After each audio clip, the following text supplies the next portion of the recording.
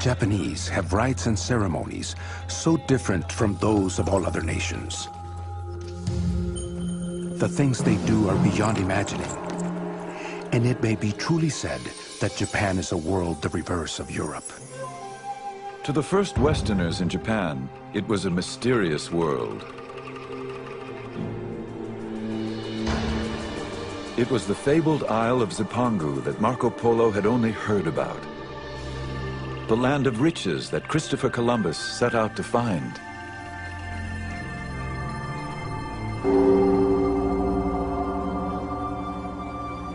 When the Portuguese arrived in Japan in 1543, they encountered a country embroiled in civil war.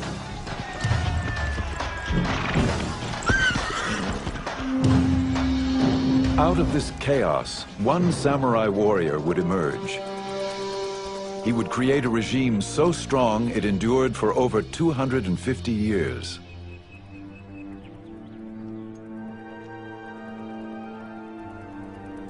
Witnesses to this world, both Western observers and Japanese, wrote of these changing times. Theirs is a story of flowering culture, of poetic ritual, and of rigid power struggles. It is the saga of opening trade with Europe and then closing its doors to the West. These are the memoirs of Japan's secret empire.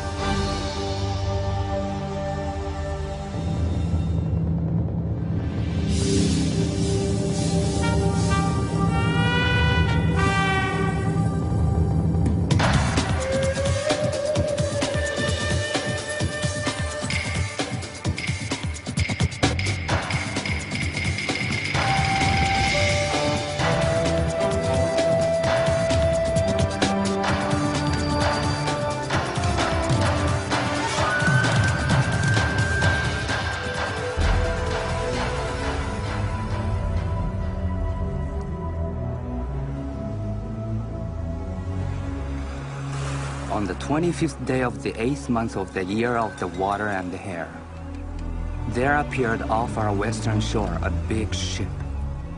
No one knew whence it had come. As a Buddhist monk later recounted, samurai guards were quickly dispatched to warn their master. There were strangers on board these ships, unlike anyone the Japanese had ever seen. The local warlord, called a daimyo, summoned these strangers, the first Europeans to ever set foot on Japanese shores. It was the year 1543.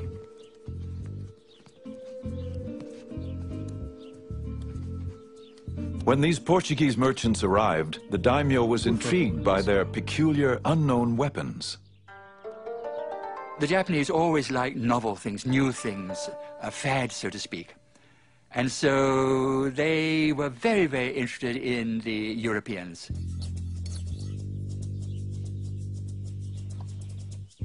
After he watched the Portuguese shoot down a duck, the daimyo purchased two guns and put his swordsmith to work making copies. Then he asked for shooting lessons.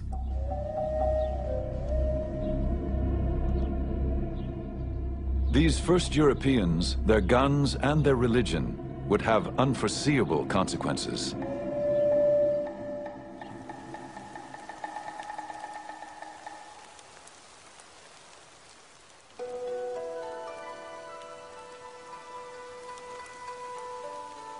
In this same year, a boy was born to a daimyo family. He would be known as Tokugawa Ieyasu. His destiny would be to change Japan forever. As an elite member of the samurai class, the boy inherited a world of tradition.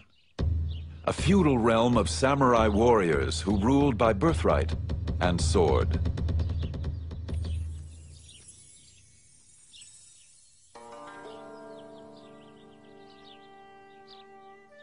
The son of a daimyo lord, Ieyasu would soon have to give up children's games for the politics of war.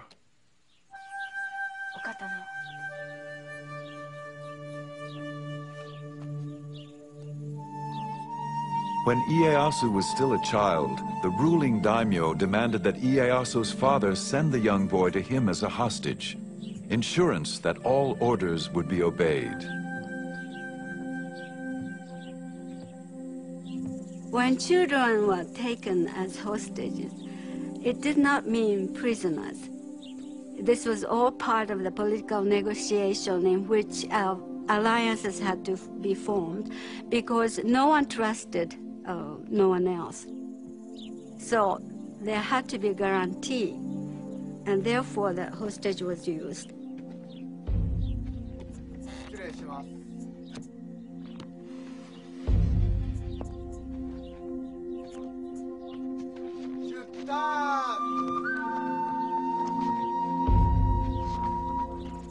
As a hostage, the young samurai boy traveled in the style befitting his daimyo rank.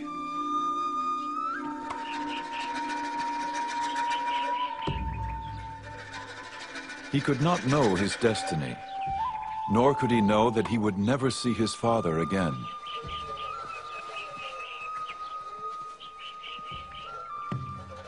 He would grow up a hostage, his life captive to the turmoil of civil war.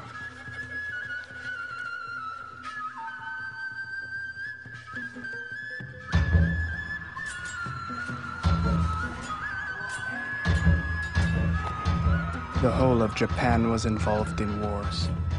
Treachery was rampant and nobody trusted his neighbor.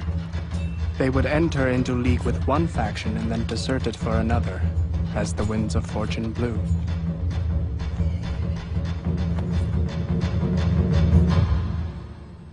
Joao Rodrigues, an eyewitness to these perilous times, was one of the first Portuguese to arrive in Japan.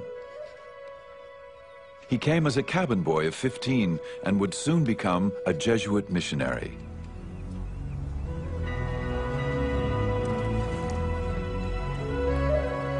As Portuguese merchants traversed the oceans in search of new ports for trade, Jesuit missionaries accompanied them, searching for souls to save.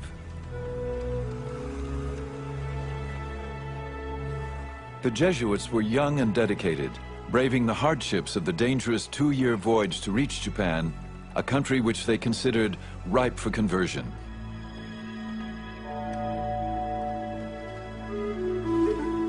They sent home tantalizing reports of an alien world.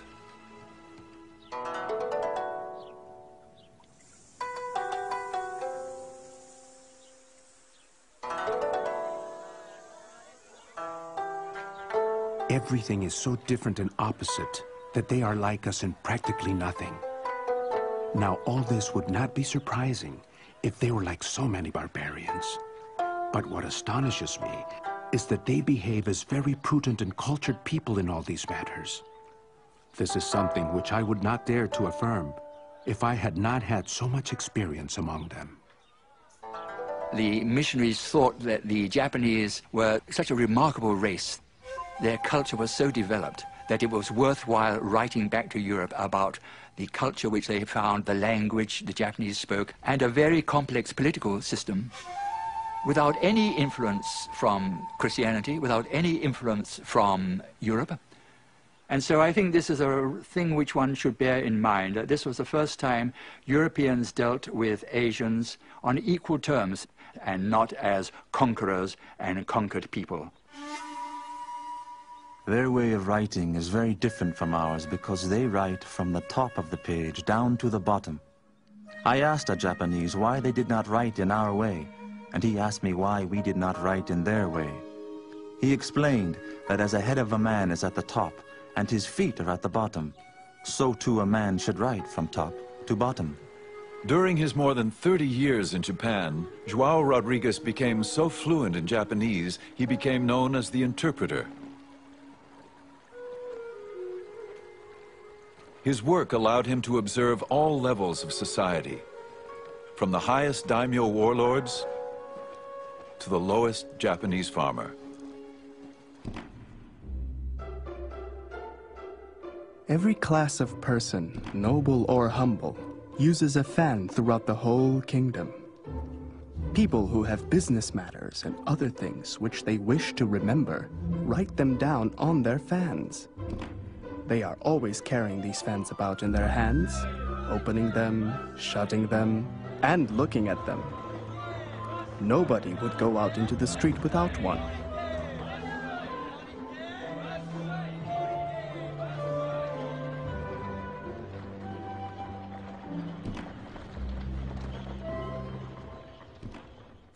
The Japanese, Joao Rodrigues observed, regarded the Europeans with equal fascination. They greatly wondered at our big and long noses, thick beards, and red or fair hair, and considered all these things as so many defects. They called them the Southern Barbarians, which is not a very flattering term. Their eating habits were rather different. The Japanese were so polite, eating with chopsticks, etc. Whereas in those days, Europeans normally ate with just a knife and uh, with your fingers. And then, of course, the Japanese, most of the Japanese take a bath every day, whereas Europeans, I'm afraid in those days, went for months and months and months without taking a bath. And to some extent, they deserved the epithet of barbarians. But however they were regarded, the missionaries were determined to stay in Japan. Our only desire was to preach and proclaim the law of the Creator. Even if there were only one Japanese Christian in the whole country, any missionary would spend all his life here just for the sake of that one person. These men were very, very zealous, and the conditions were rather good for the conversion of people to Christianity. When you have bloodshed, revolutions, fighting, battles, death in large numbers, obviously people's thoughts do tend to go to the next life. In little more than 50 years, these missionaries established over 200 Catholic churches, primarily in southern Japan, and converted up to a quarter million Japanese.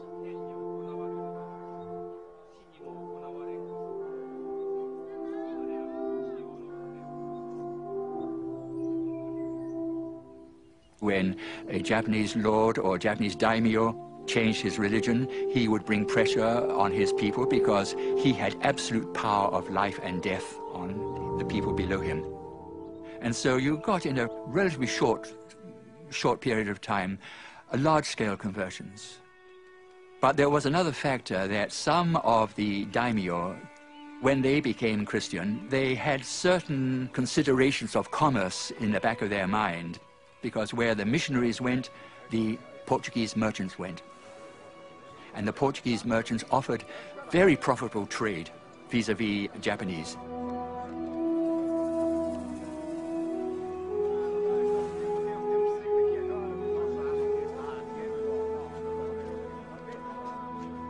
Commerce and religion intertwined. Some Japanese profited, while others watched with growing concern, convinced of Christianity's threat to their power. Merchants and missionaries, these early Europeans had set a course which would eventually run into unexpected consequences.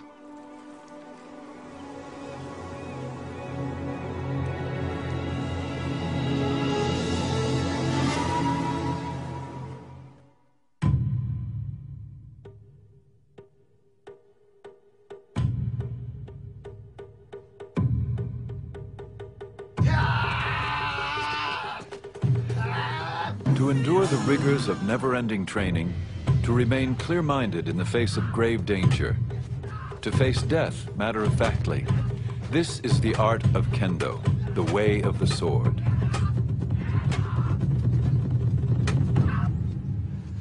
Master swordsmen taught young samurai the skills of sword fighting and the traditions of a samurai code of honor.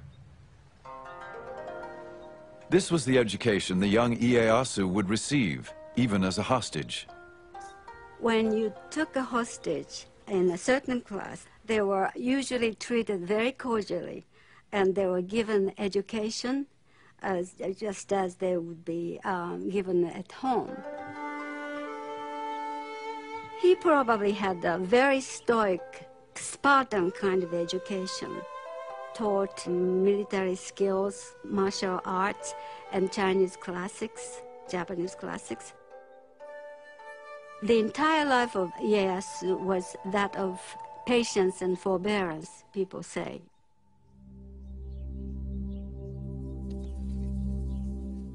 The young hostage, Tokugawa Ieyasu, would learn what it meant to be a samurai. Adopt a stance with the head erect, neither hanging down nor looking up, nor twisted. Do not roll your eyes nor allow them to blink, but slightly narrow them. Brace your abdomen so that you do not bend at the hips. A legendary swordsman, Miyamoto Musashi, would preserve the way of the samurai in a classic book, The Five Rings. It was a guide to strategy, its philosophy embraced in Japan even to this day. In all forms of strategy, it is necessary to maintain the combat stance in everyday life, and to make your everyday stance your combat stance.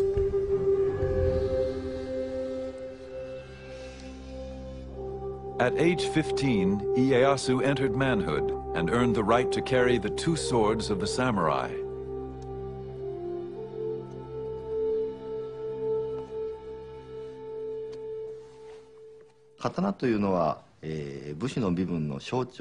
The sword was the symbol of the samurai class.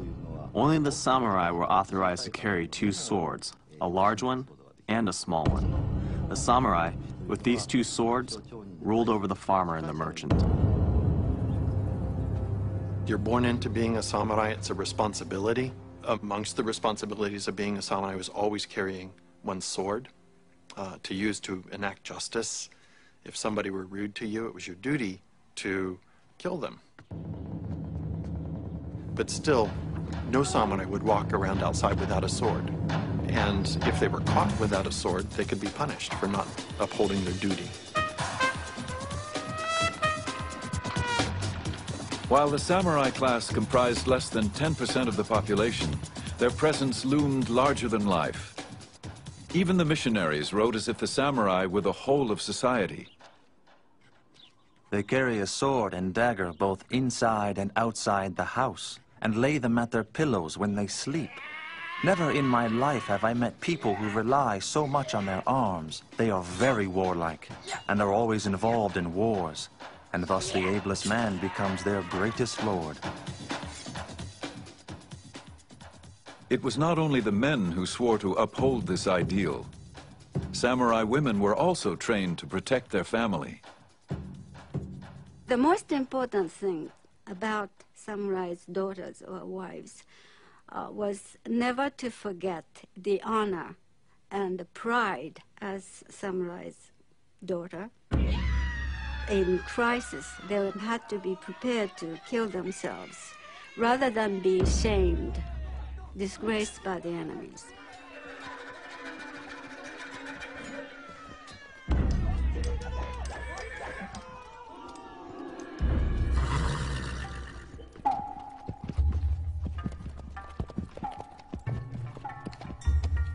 The samurai defended his home and family, but his true glory came on the battlefield, defending his lord against enemies.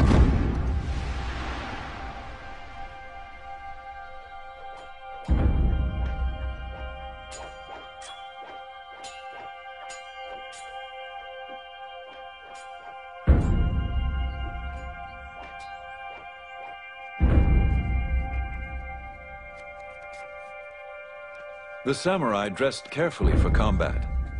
The finely stitched fabric and leather appeared elegant, even fragile. Unseen were the tightly woven plates of steel. Much like his protective armor, a warrior's refined appearance concealed his impenetrable inner core. This ethic, preserved in writings of the samurai, would prepare the warrior to meet life and death with honor.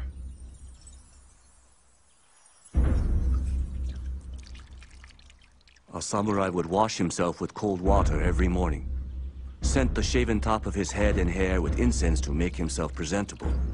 He was ready to be killed in battle at any moment.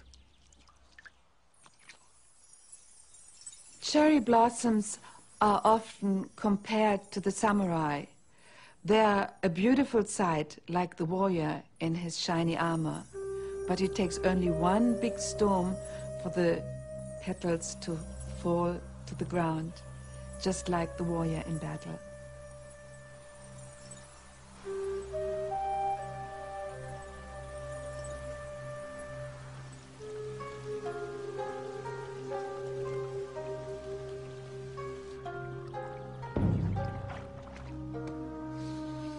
For samurai, as important as knowing how to kill was knowing how and when to die.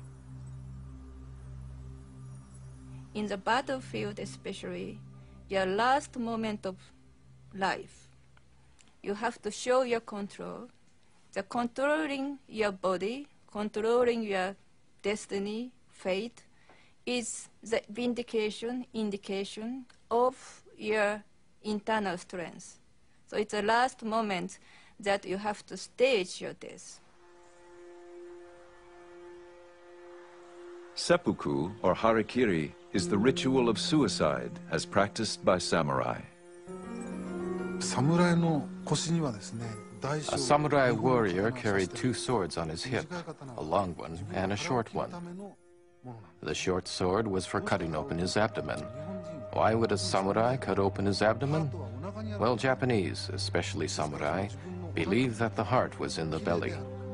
They believe that whether their heart was pure or impure would be revealed when they disemboweled themselves.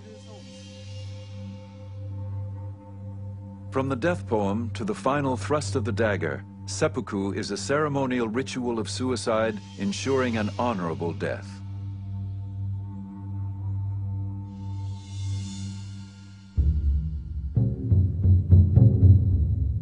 Joao Rodrigues wrote of a man who committed the ritual of seppuku.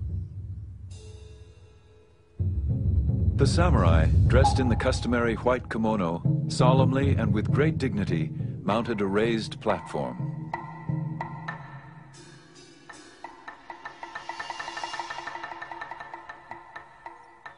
Then, in a loud voice, he told them to watch him carefully as he cut himself open.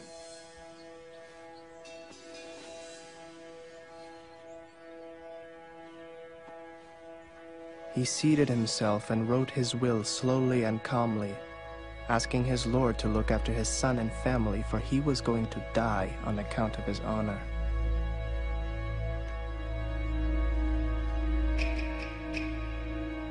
He bade farewell, and then in front of them all, he fearlessly cut his belly. And so he died. This sort of thing often happens.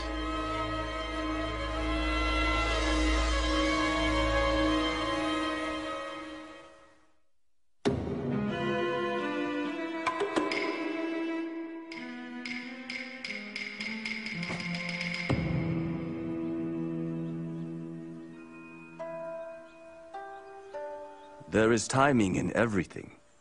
Timing in strategy cannot be mastered without a great deal of practice.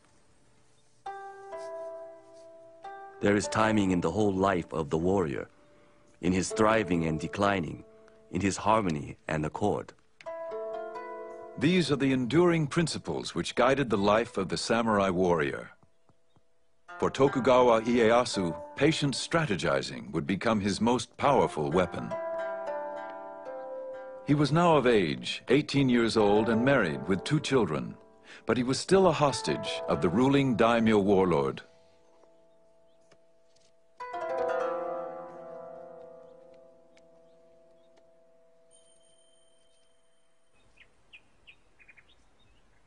As time passed, Ieyasu strengthened his skills as a warrior, fighting alongside his daimyo master.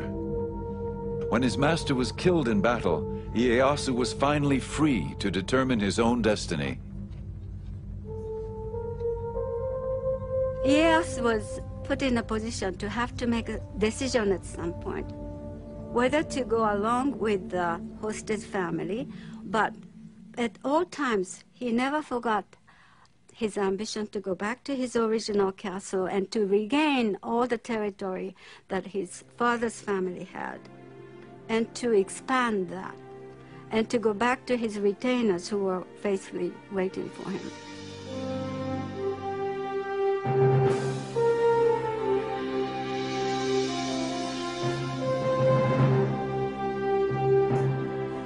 Ieyasu reclaimed his title as an independent lord, a daimyo.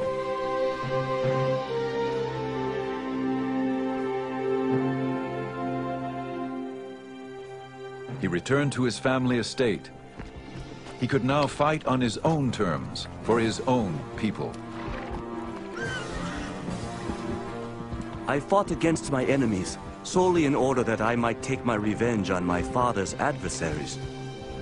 Because I was convinced of the rightness of my intention to help the people and bring peace to the land. The years of captivity had honed his discipline. According to his samurai training, he now carefully plotted his strategy.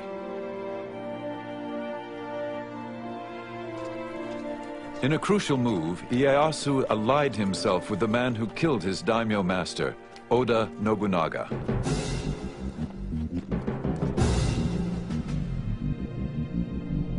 Nobunaga had become the most powerful warlord in Japan, feared and ruthless. The missionary Joao Rodrigues documented Nobunaga's campaign to unify Japan. Nobunaga was the first to begin cutting through the thick forest of wars and discord in Japan. He subdued about half the country and fear of him made the remaining part ready to obey him in anything.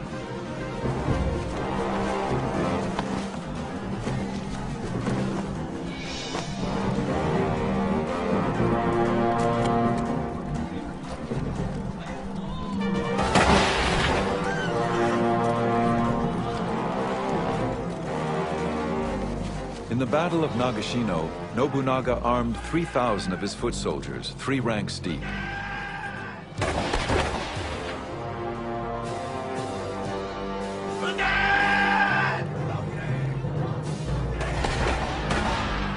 As 10,000 enemy warriors charged, Nobunaga's musketeers fired in succession, decimating the opposing army.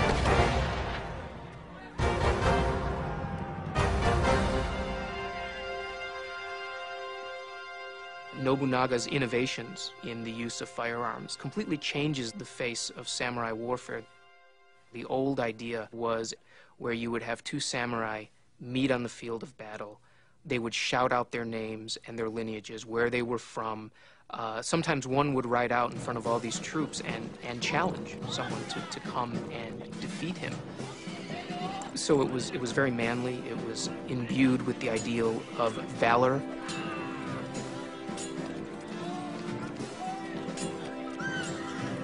now you have faceless ranks of samurai shooting other faceless ranks of samurai.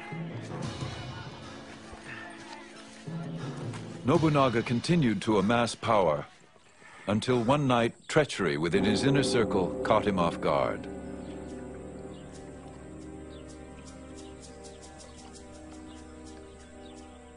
A missionary was nearby. Some Christians came just as I was vesting to say an early mass, and told me to wait, because there was a commotion in front of the palace. We at once began to hear musket shots and see flames.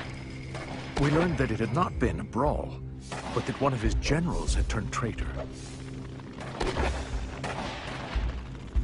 Some say he cut his belly, while others believe that he set fire to the palace and perished in the flames.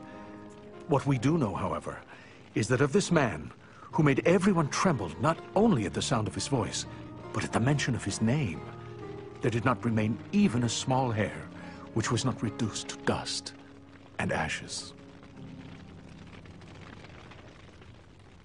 As the flames burned, Nobunaga's loyal general, Toyotomi Hideyoshi, seized the moment. Hideyoshi immediately springs into action, murdering the murderer of his own lord, which then gives him the, the right, in essence, to claim leadership of Nobunaga's vast uh, coalition of armies.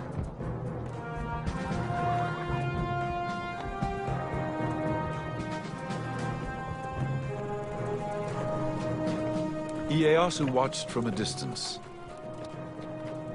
Would he subordinate himself to Hideyoshi's command? Or was it time to fight for control?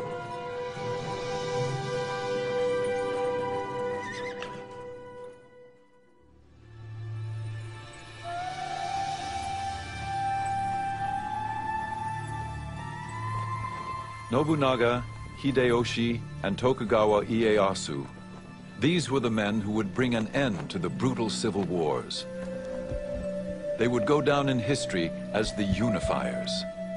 There's a story in Japanese that explains um, the character of the three unifiers.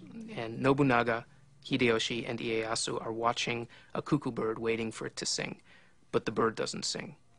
And Nobunaga says, Little bird, if you don't sing, I will kill you. And Hideyoshi says, Little bird, if you don't sing, I'll make you sing. And Ieyasu says, Little bird, if you don't sing, I'll wait for you to sing.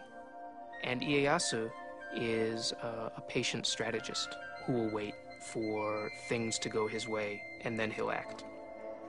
After Nobunaga's death, Ieyasu and Hideyoshi faced off in a measured game of strategy, each in his own way trying to outsmart the other.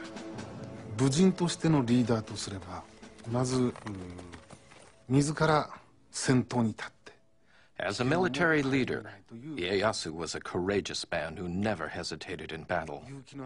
However, though he was brave, he was also cautious. One famous story, Ieyasu was known as an excellent horseman. One day he and his troops had to cross a very narrow bridge over a raging river. Everyone was watching to see how the great Ieyasu would ride his horse over this dangerous bridge. To his men's surprise, Ieyasu dismounted, took the horse's reins in his hands, and carefully led the horse over the bridge to the other side of the river. That's how vigilant he was. I believe this kind of caution helped him to be victorious in battle. While Ieyasu practiced restraint and careful strategizing, Hideyoshi acted quickly and decisively. Hideyoshi was from peasant stock. The son of a lowly foot soldier, he worked his way up through the ranks. Hideyoshi became known as a brilliant general, and he held the same grand vision of himself. When my mother conceived me, she was given a miraculous omen. On the very night that I was born, the room was suddenly aglow with sunlight, thus changing night to day. Finally, they divined, the child whose birth was attended by these miracles was destined to become a man of unusual attainments. This prediction is fulfilled in me. Shortly after Hideyoshi took control, Ieyasu challenged him. But Ieyasu soon realized there was more to be gained as Hideyoshi's ally than as his enemy.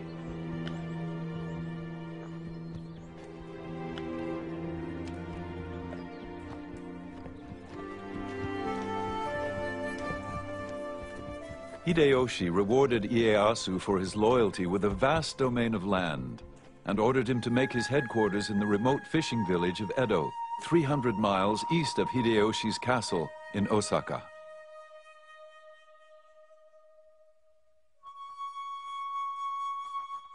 Some might have thought the gift an insult. But in Edo, the village that would later become Tokyo, Ieyasu busied his troops building a massive five-story castle fortification.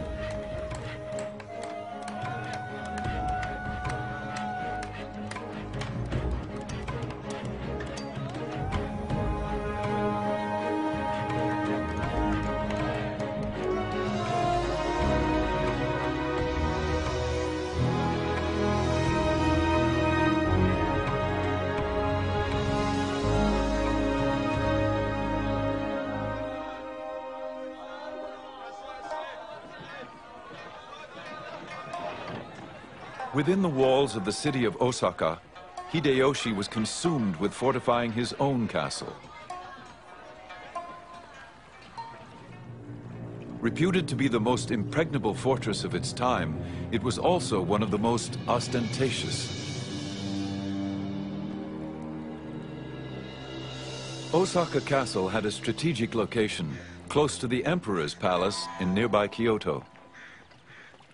For centuries, the emperor had remained a ruler in name only, ignored by those who truly held power.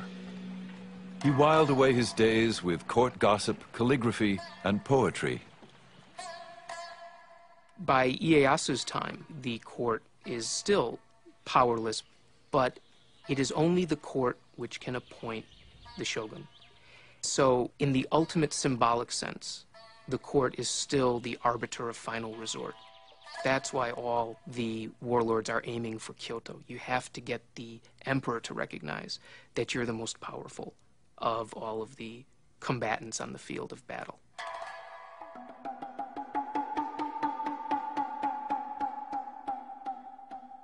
Hideyoshi curried the emperor's favor, inviting him to Noh plays and musical performances. But the emperor would not grant this warrior of peasant stock the title of shogun.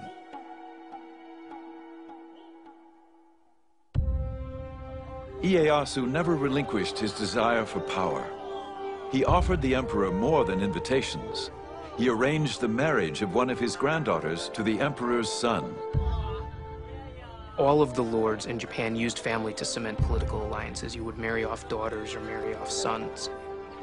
What Ieyasu did in particular was have an abundance of sons that he could use.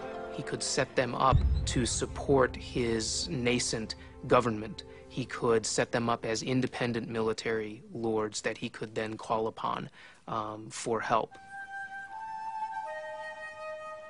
In contrast, Ieyasu's rival Hideyoshi failed to produce a male heir. Finally, he adopted a nephew and groomed him as his successor. Then, at 60 years of age, Hideyoshi finally fathered a son of his own. He called him Hideyori, and he was the jewel of his life. Hideyoshi's thoughts now turned to the safety and survival of his young son. I cannot describe the endless tedium, as if I were guarding an empty house when Hideyori is not here with me. I say again, strictly order that all be vigilant against fire. Each night have someone make the rounds of the rooms two or three times. As Hideyoshi obsessed over his own son, his adopted son, now an adult, was in peril. It's clear that by the end of his life, Hideyoshi was acting more and more erratically. He became increasingly cruel, if not sadistic.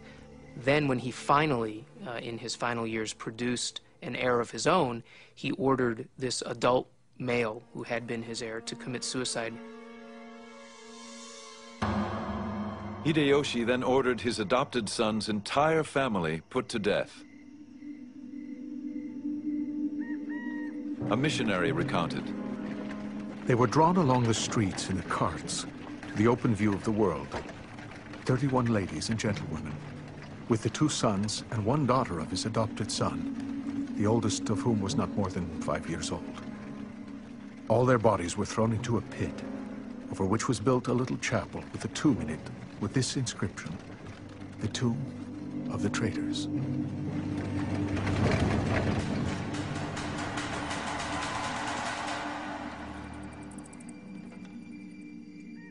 Soon after, Hideyoshi's health began to fail. He wrote his death poem. Ah, as the dew I fall, as the dew I vanish, even Osaka Fortress is a dream within a dream. Hideyoshi then called Ieyasu and four of the most powerful daimyo to his deathbed. He appointed them legal protectors of his five-year-old son Hideyori, his heir and the future ruler of Japan.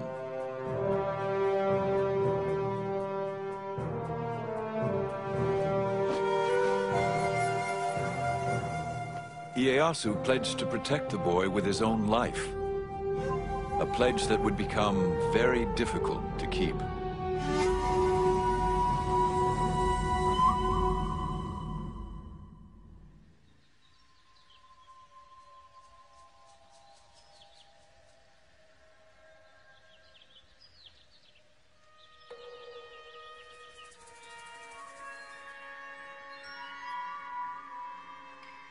It is said that war is a curse.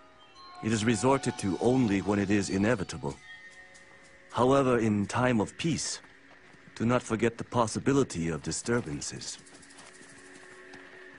Ieyasu was on guard. Those daimyo who feared his growing power began to plot against him. Ieyasu's territory now extended throughout most of Japan. He was determined to maintain his holdings and expand his base of power. One of Ieyasu's nicknames is the Old Badger, and it reflects his craftiness as well as his famed ability to wait.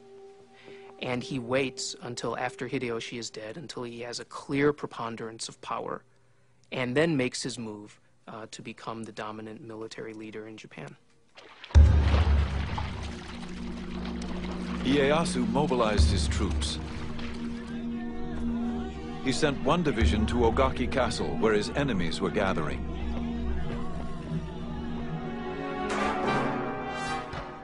When the battle began, women and children rushed to safety. Ieyasu sent a large force to lay siege to the castle. And they fought day and night. One of the young girls at the castle later told her family of the terrifying experience. Mothers, concubines, and daughters all stayed in the tower and cast bullets.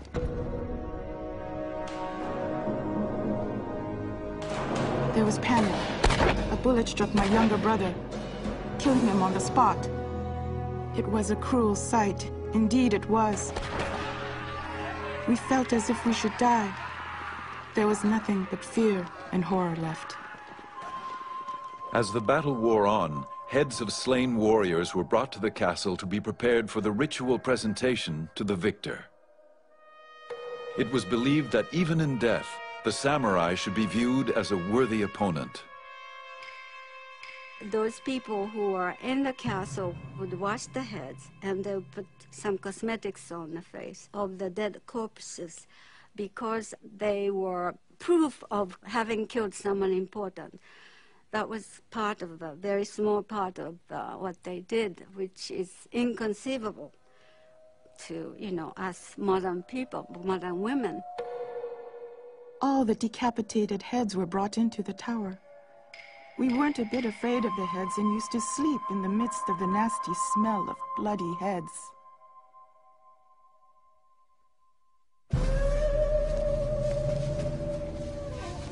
Victorious at Ogaki Castle, Ieyasu's troops now pursued the rebellious daimyo and their armies.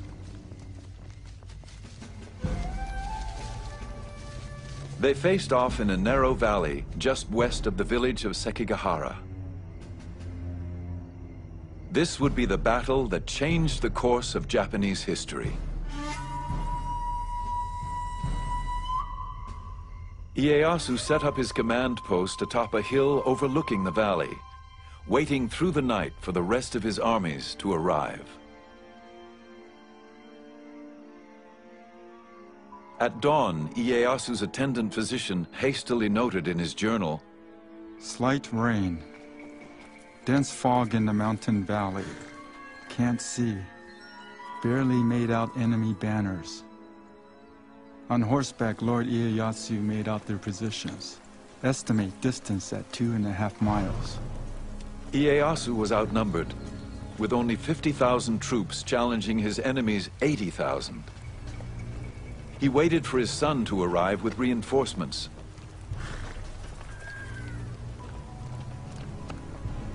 But at 8 in the morning, the fog suddenly lifted, and the two opposing armies found themselves within striking distance.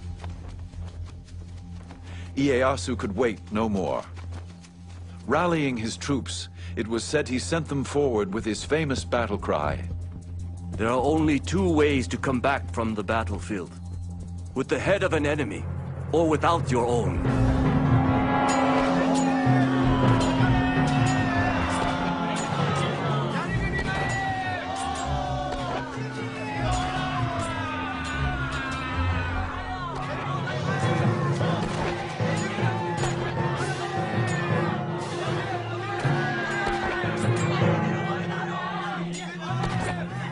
Ieyasu watched as his troops faced what seemed insurmountable odds.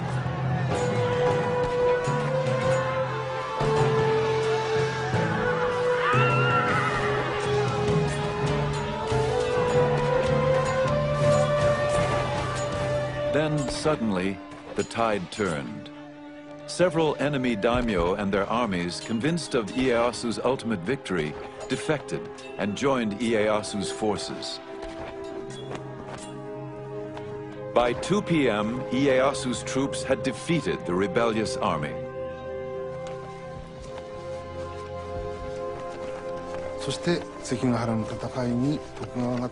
Tokugawa's victory at Sekigahara brought an end to the warring states and signaled the beginning of a new era.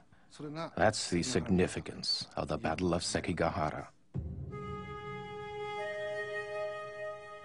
In recognition of Ieyasu's power, the emperor awarded him the title of shogun, the barbarian subduing generalissimo. Tokugawa Ieyasu now had the authority to rule Japan in all military matters.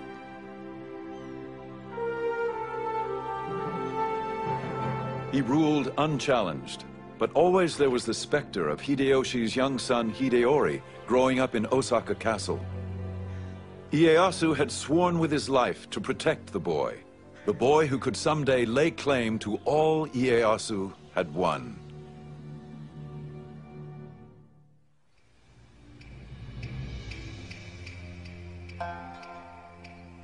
As the young boy Hideyori approached manhood, a daimyo warned, Although he is Hideyoshi's heir, Ieyasu would never let him rule Japan. Sooner or later, some ambitious character will foment rebellion in his name. And even if Hideyori knows nothing about it, he will be blamed and forced to commit suicide to the grief of Hideyoshi's ghost. Now, the Tokugawas had no divine right to rule Japan. They ruled Japan because they were the most powerful, they had the most money, they had the most soldiers, but they had no divine right. And there were many other powerful daimyo, especially in the West, the Christian daimyo. And so, if there were any philosophy, any political movement that would bring these daimyo together as a coalition against the Tokugawa family, that was very dangerous. Tokugawa Ieyasu tolerated no dissent. He expelled many of the foreign missionaries, including Joao Rodrigues.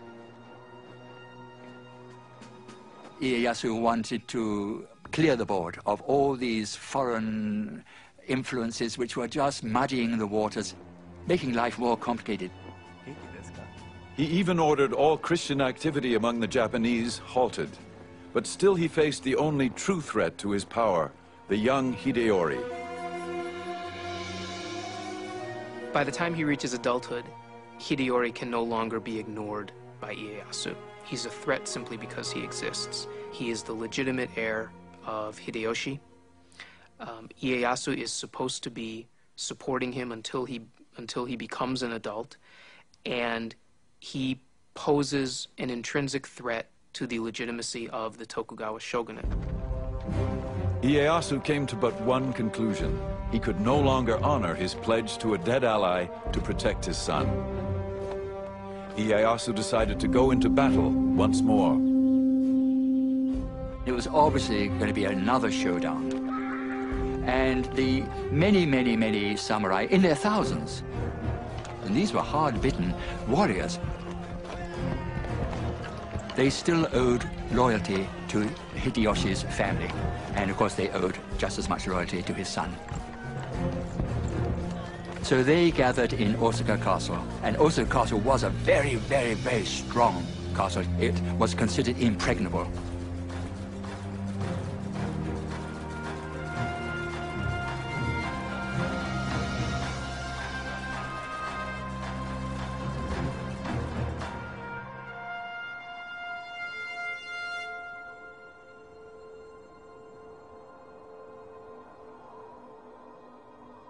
In the winter of 1614, Ieyasu accused Hideyori of subversion and ordered his troops to advance against Osaka Castle.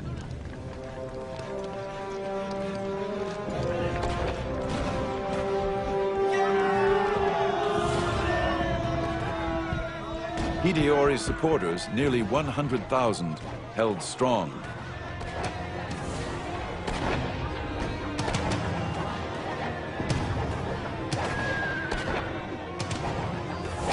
Ieyasu retaliated with a devious plan. He sent a woman samurai to negotiate a truce with Hideyori's mother.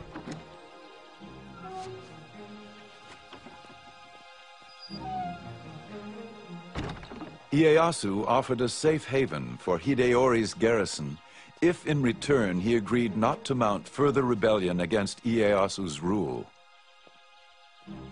To prove his intentions, Ieyasu signed the pledge in blood. Hideyori's mother convinced her son to accept the offer. Ieyasu's ploy had worked. As soon as the fighting stopped, Ieyasu began to fill in the moats of Osaka Castle, the deep moats. And the people in the Osaka Castle protested a lot. That was not in the agreement. But that didn't matter. They filled in the moats. And once the moats were filled in, then Ieyasu's troops would storm into the castle.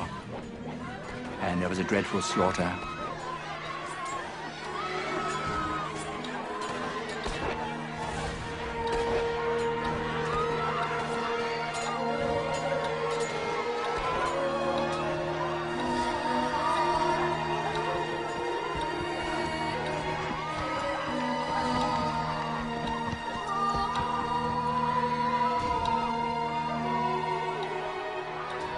Thousands of defeated soldiers, women and children fled the castle compound.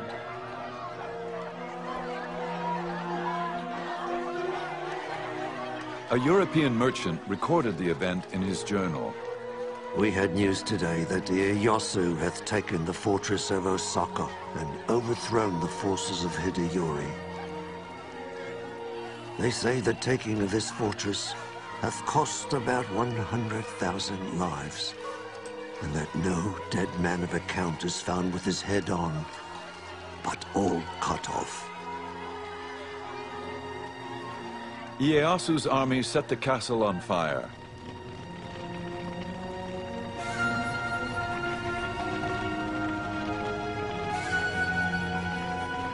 As the flames raged around him, Hideyori refused to surrender and was left with no other option. He committed seppuku.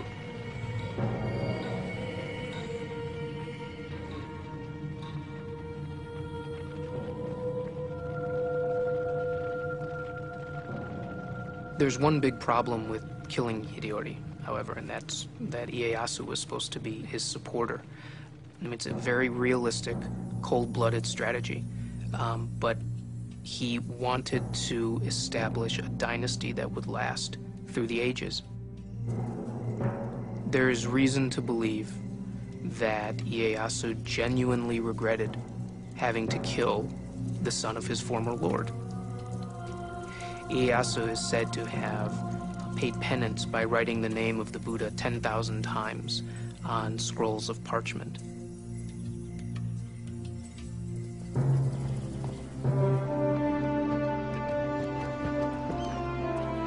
Tokugawa Ieyasu had wiped out the last threats to his power, or so it seemed.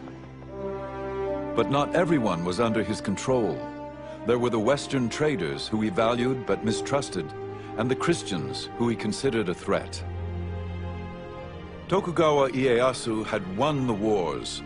His struggle to control the future of Japan had just begun.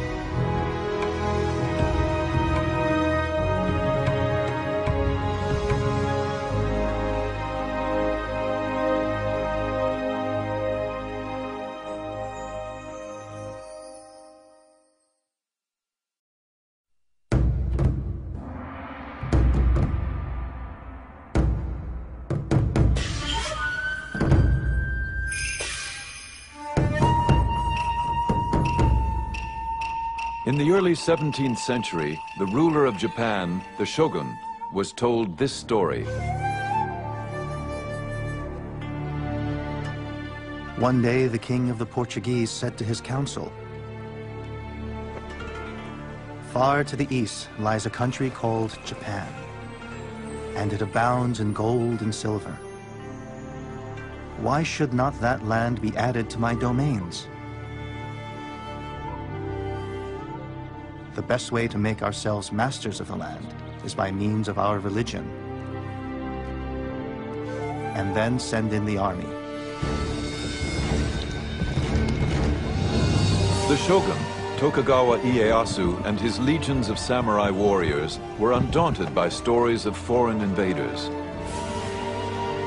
He was a strong leader and had brought peace to the war-torn nation.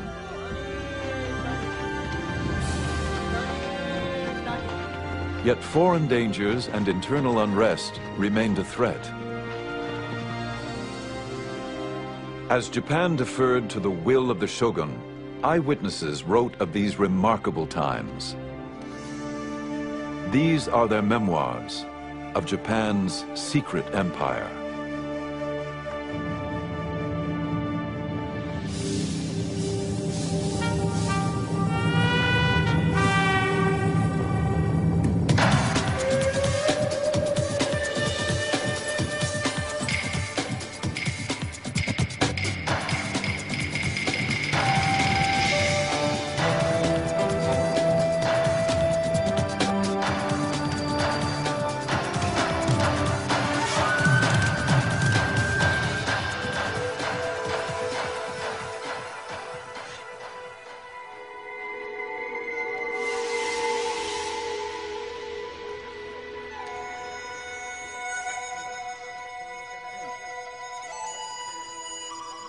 After we'd been in Japan five or six days, came a Portugal Jesuit who reported that we were pirates.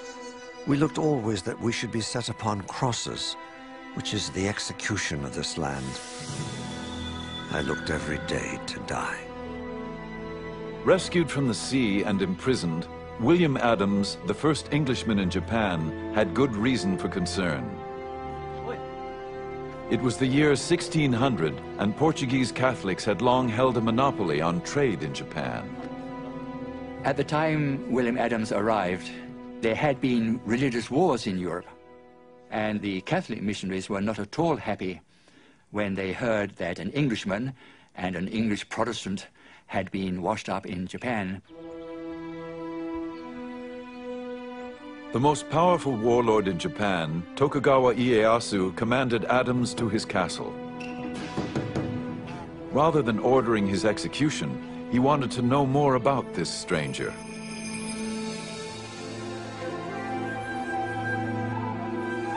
The summons was highly unusual, as only the highest-ranking officials were ever received by the great man himself.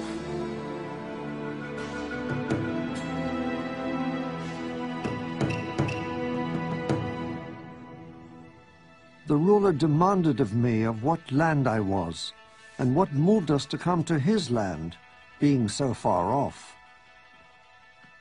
I showed him the name of our country, and that our land desired friendship. It appeared that Ieyasu was interested in more than friendship. He asked whether our country has wars. I answered him, yea, with the Spaniards and Portugals. He asked me diverse questions of my religion and what way we came to the country. From one thing to another, I abode with him till midnight. As the meeting came to an end, Adams dared to make a parting request on behalf of his Dutch employers. I desired that we might have trade with your country, the same as the Portugals and Spaniards. To Ieyasu, this was welcome news. Ieyasu valued trade with the Portuguese and Spanish merchants, but was wary of their Catholic missionaries who preached obedience to a God more powerful than he.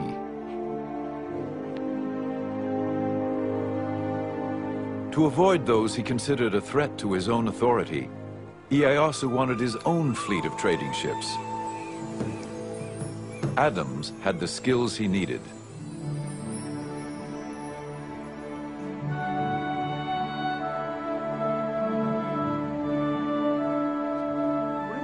The English pilot had apprenticed as a shipwright.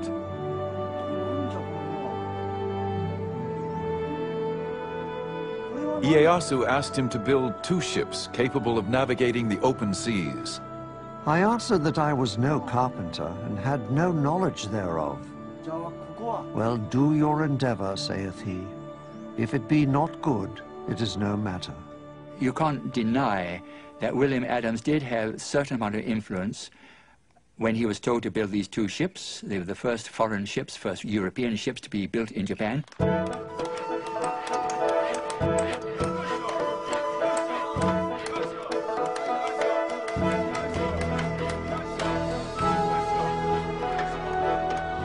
They were built with Japanese workers, of course, under his supervision.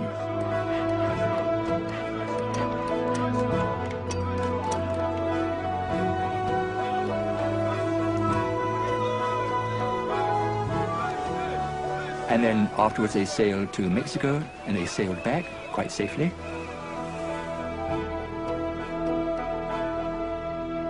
Ieyasu now had the leverage he desired. When the Catholic missionaries continued to gain converts and create problems, he expelled them. Life was complicated enough without these pesky foreigners uh, interfering. And so that probably was the reason why he did not want Christians in Japan. Ieyasu replaced his Catholic interpreter with William Adams, who had been quick to learn Japanese. He was a Protestant, of course. Ieyasu knew that he had no interest in helping the missionaries, and so he was rather a valuable man to have around. Ieyasu still wanted to trade with the West, but on his own terms. Adams convinced Ieyasu that the Protestants did not want to convert his people. Ieyasu soon made him his commercial agent, and Adams negotiated especially favorable terms for the growing Dutch East India Company. The Hollanders be now settled, and I have got them trading privileges as the Spaniards and Portugals could never get in their 50 years in Japan.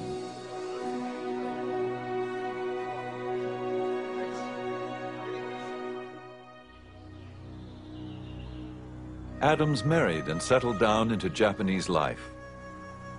He adopted Japanese dress and was awarded the right to wear the two swords of the samurai.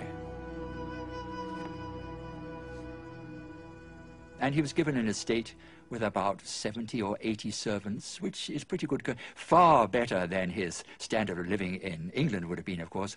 And I think towards the end he lost his desire to go back to England because he knew he would just be a working class man in England where back in Japan uh, he has 80 servants to wait and hand and foot on him.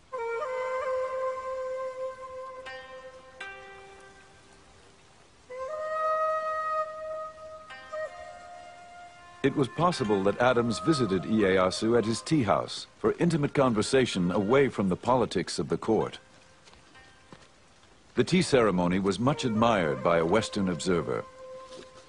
The guests open the gate, walk along the path through the wood up to the tea house, quietly contemplating everything they see. They remove their fans and daggers and deposit them in a kind of cupboard placed there outside for that purpose. If Adams and Ieyasu had private political discussions, the tea house was also a retreat where they could replenish their souls. This gathering for tea and conversation is not intended for lengthy talk, but rather to contemplate within their souls, with all peace and modesty, the things that they see there, and thus, through their own efforts, to understand the mysteries locked therein.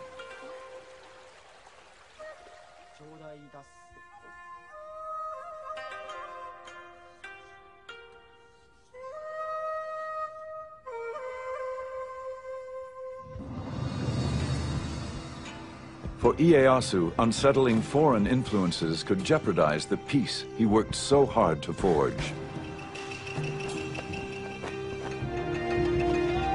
But the biggest challenge would be to maintain control of the 260 fiercely independent warlords and their formidable samurai armies.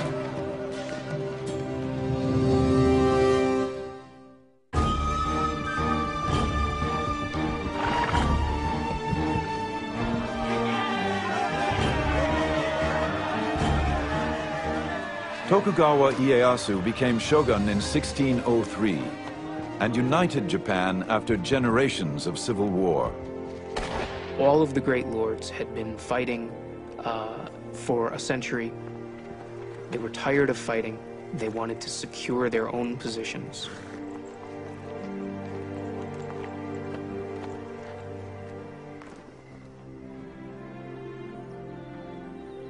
But as a court chronicler documented, the task ahead would not be easy.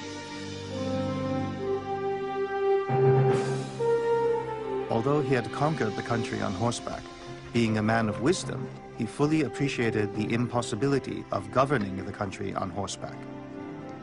He was interested only in discovering the key to government, how to govern oneself, the people, and the country. 家康公はですね、リーダーとしてどういう点が優れてたか。What made Ieyasu superior as a leader was that he surrounded himself with capable people who believed in him. There's a story about a low-ranking samurai who asked to meet with him. Ieyasu listened attentively. After the man left, a higher-ranking lord said to Ieyasu, What a waste of your time. Ieyasu replied, It took great courage for that man to approach me. If I didn't listen, he would never come again. Peace would not be secured by leadership alone.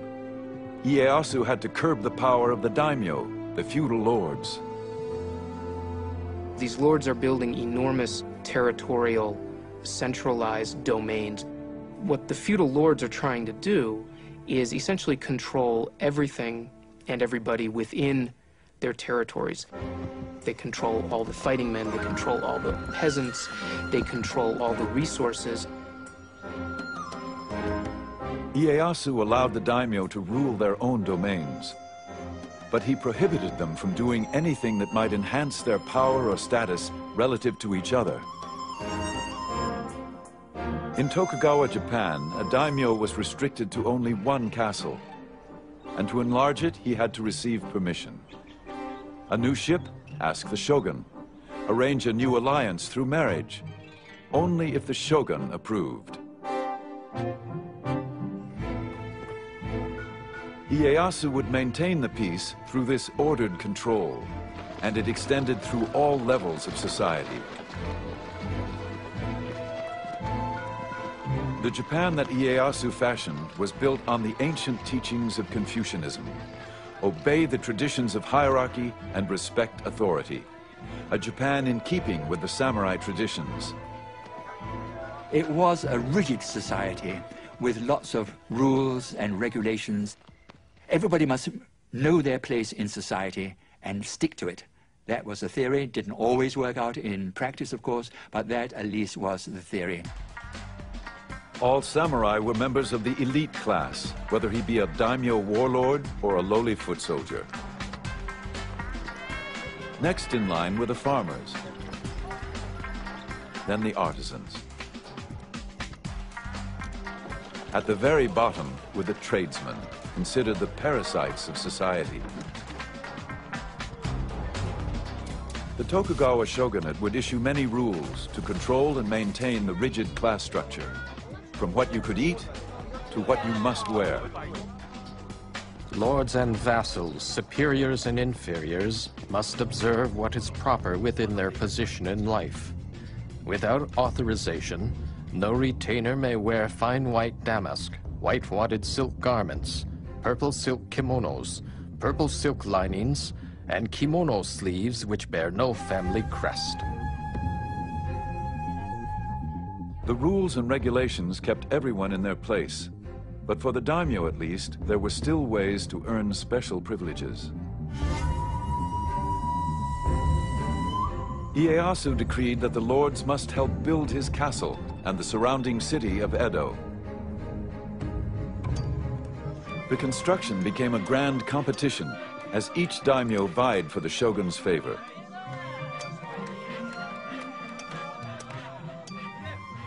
Soon they transformed the small castle and backwater village of Edo into a magnificent domain.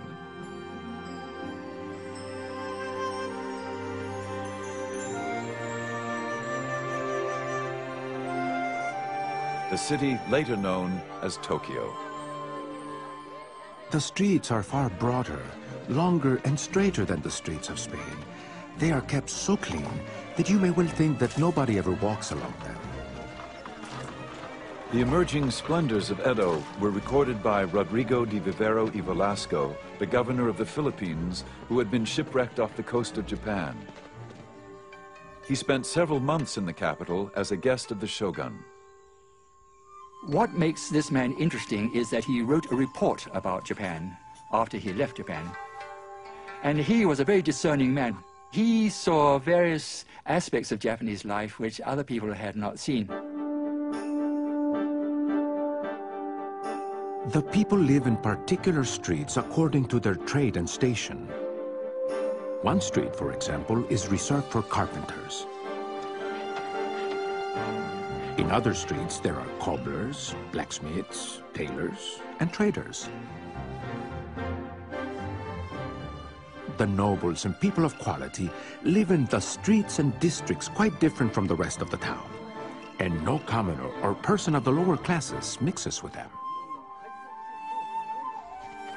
Those daimyo who had gained most favor lived closest to the castle and were granted more audiences with the great ruler himself. While Vivero y Velasco was in the castle being received in audience by Ieyasu, he saw a powerful daimyo come into the castle to pay homage to Ieyasu.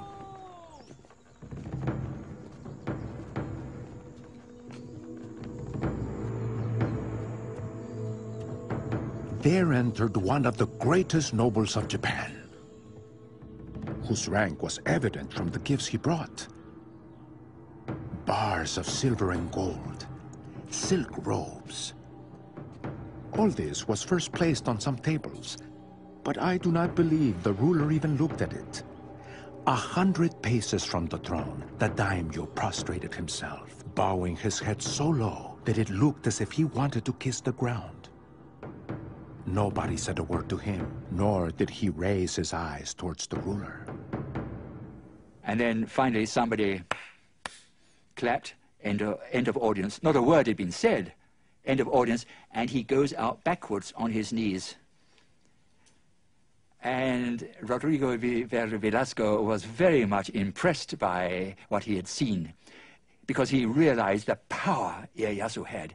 Here was a powerful daimyo who had power of life and death in his own region. But when he comes to pay tribute to the shogun, what a lowly position he adopts. The great ruler had realized his vision. All of Japan was under his control. At 72, he was still remarkably vigorous. Then, on one of his regular hawking expeditions, he fell seriously ill.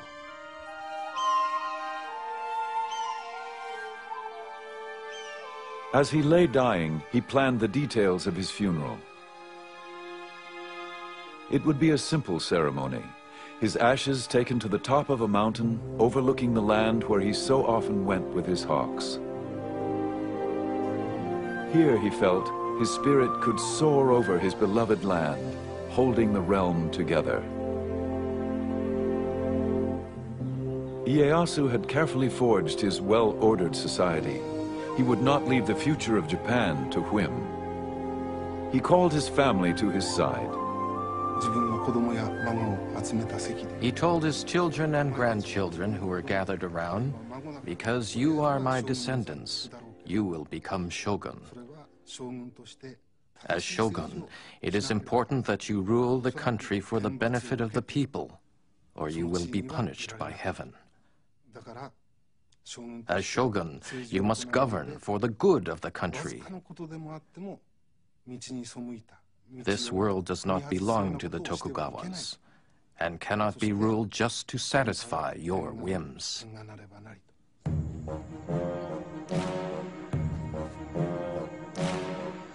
Among the family members was a young grandson, destined to become shogun. The child, Iemitsu, would grow up determined to carry on in the footsteps of his famous grandfather.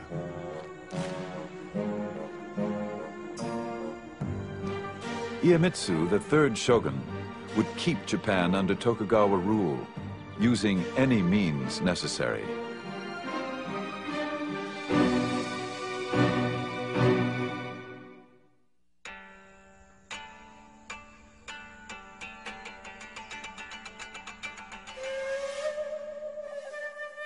The third Tokugawa shogun, Iemitsu, worshipped his late grandfather.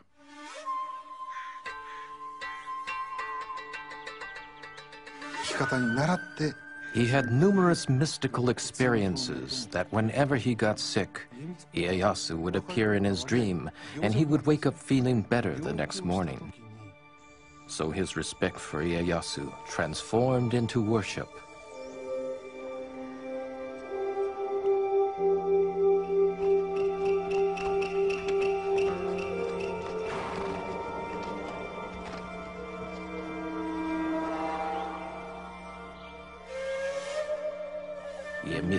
Always carried a charm containing a piece of paper saying, to live according to the way his grandfather would have lived.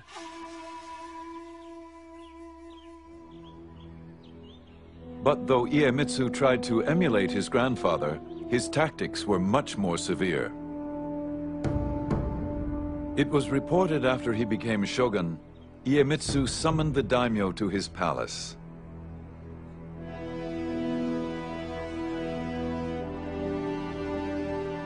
The lords waited all day in the cold without food or shelter. They began to fear for their lives.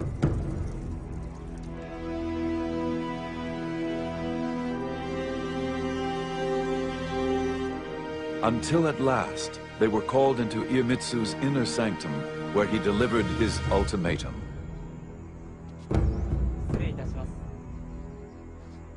I have been in the position of a superior and a master from my birth. I shall henceforth treat all daimyo as my subjects. Those of you who may disobey me may quickly return to your provinces, repair your castles, and prepare for arms. I shall act accordingly. Iemitsu is a fascinating shogun. He's the first shogun who doesn't lead troops in battle. He had not proved himself on the battlefield. He did not have his own men who came with him into office when he became shogun. Iemitsu inherited a nation at peace.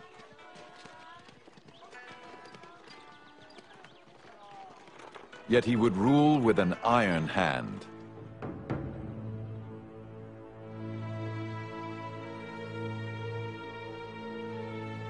He listened to few and spared no one. He would not tolerate competition, not even sibling rivalry. He ordered his younger brother to commit suicide.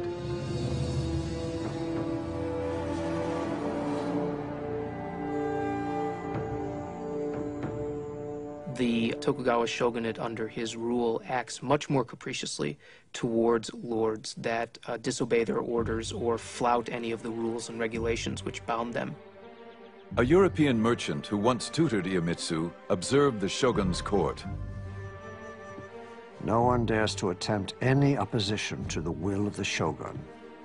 Whatever injustice the shogun may commit or into whatever extravagance of excesses he may plunge, they praise or approve of all. But ruling by fear alone could also breed revolt.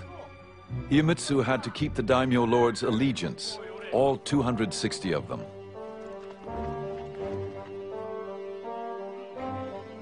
In peacetime, there was no common enemy, no spoils of war to reward the daimyo for their loyalty.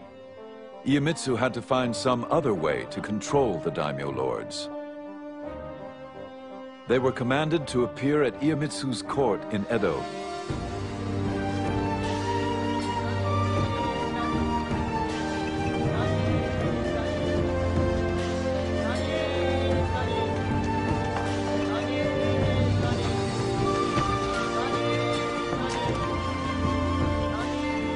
And they did not journey alone, as witnessed by a German traveler.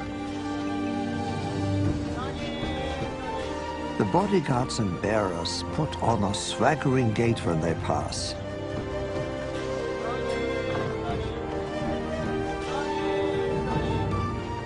With every step, they kick up their heels nearly to their backsides, and at the same time thrust the opposite arm forward. It looks as if they're swimming in the air.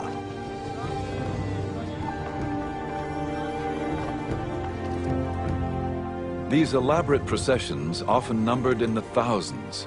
They were part of a system known as alternate attendance. The alternate attendance system had been evolving over the decades of Tokugawa rule, and primarily what it meant is that great lords had to spend part of the year in Edo and part of the year back in their domains. They had to travel back and forth according to strictly set schedules while their wives and children had to spend all their time in Edo. This was the single greatest administrative control on the outer lords during the Tokugawa shogunate.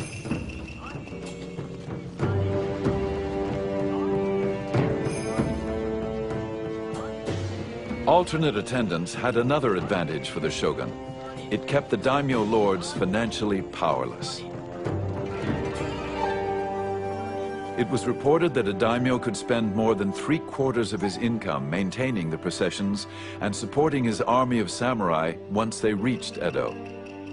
What this also does, by the way, is cause Edo to explode in size.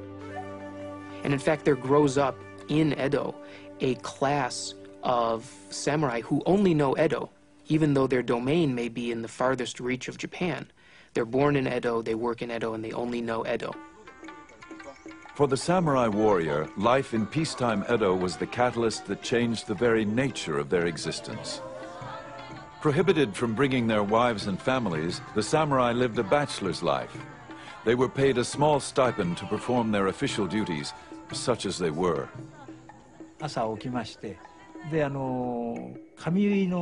They would get up in the morning and have their hair dressed by a fellow samurai.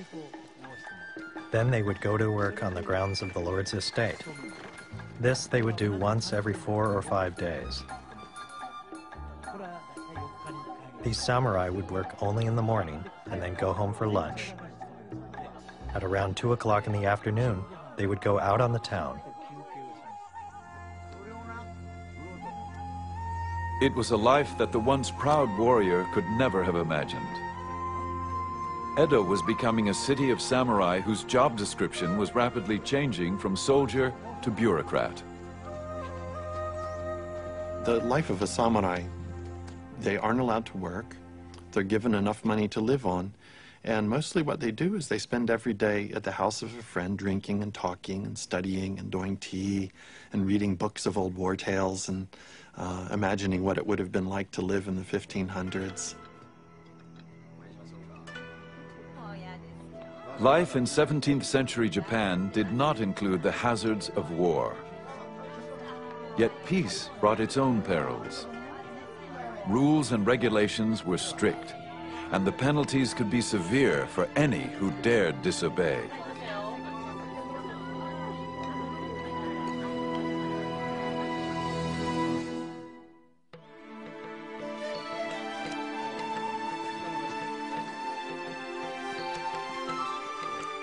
Fluttering our papers, the spring winds blow, when through the open barriers, how gratefully we go.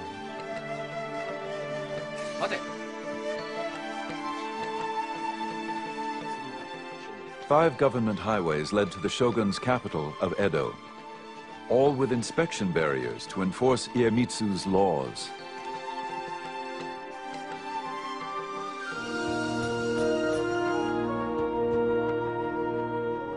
The shogun had improved the roads so his messengers could quickly reach any part of Japan.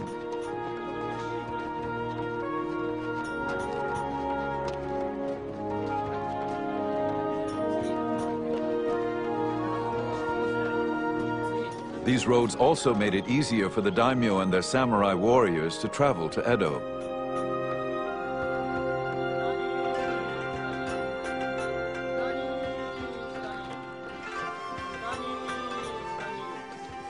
But for most Japanese, travel was an arduous process.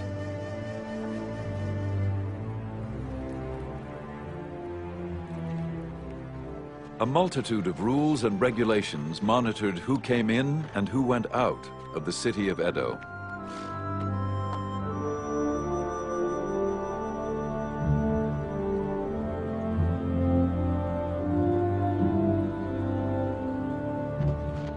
Almost everyone needed a passport. The few exceptions included itinerant performers who proved their identity by showing off their talent or sumo wrestlers whose girth was ample proof of their profession.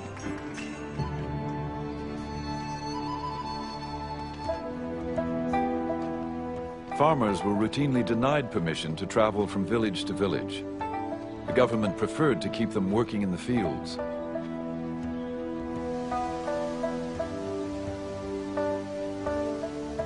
Those without the proper papers often tried to avoid the inspection posts by slipping by on side roads. If caught, there were severe penalties. A traditional Japanese-style punishment meant crucifixion for a man, for a woman, enslavement or enforced servitude.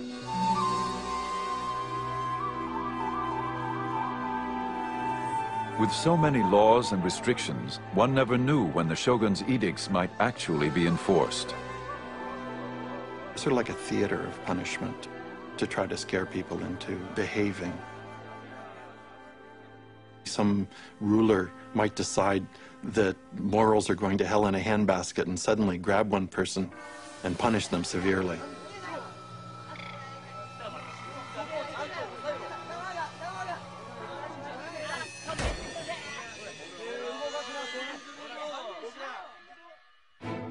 Despite the uncertainty, against all odds, travel grew in popularity. Now that the roads were safer, more and more Japanese began to journey from village to village.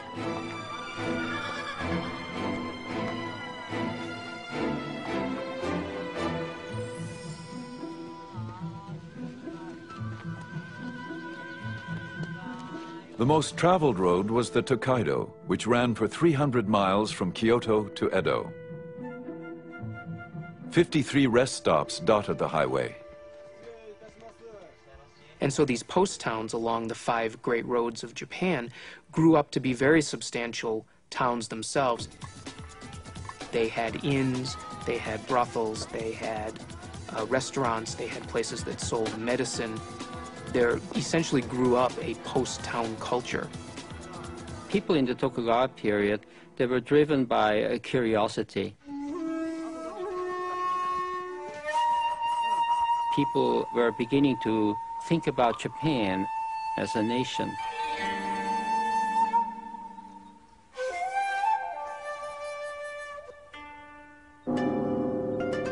Travel diaries became bestsellers.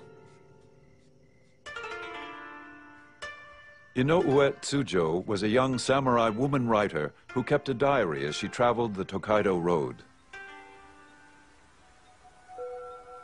A mountain range rises above the clouds and splashing water gashes over the rocks, making an ear-splitting noise. On the way up, we feel that we are being knocked down backwards. And on the way down, we feel that we are slipping all the way. Thus, we are often fearful.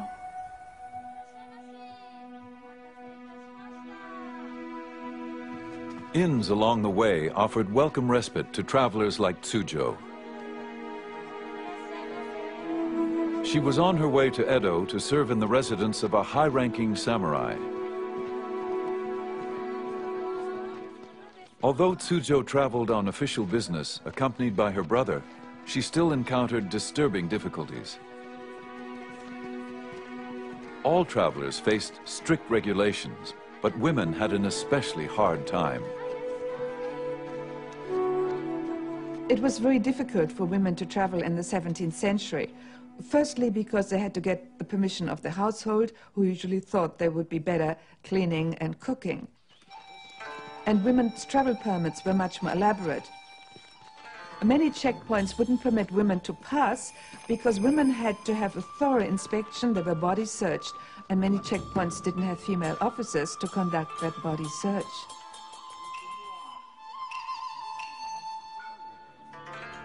Officials were always on the lookout for women who disguised themselves as boys.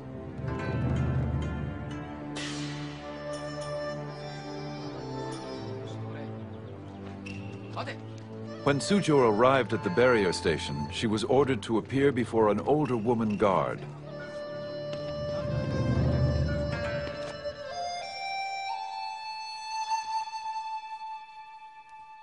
A rough-looking woman examined me, ran her hand through my hair and said something with a heavy accent. It was very unpleasant, but I had no choice. I was afraid of what she might do.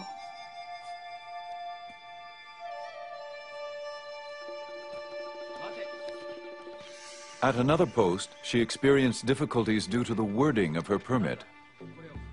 When I presented my official document at the barrier, they refused my passage. Because in the permit, I was only identified as a woman, rather than a young woman with long open sleeves.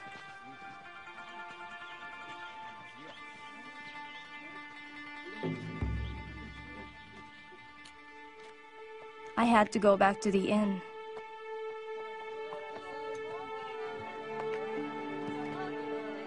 I was heartbroken. Tsujo worried if she would be allowed to continue her journey. It was a sleepless night as she wrote in her diary. My tears darkened the light of a candle. How restless I feel. Everything is depressing beyond description.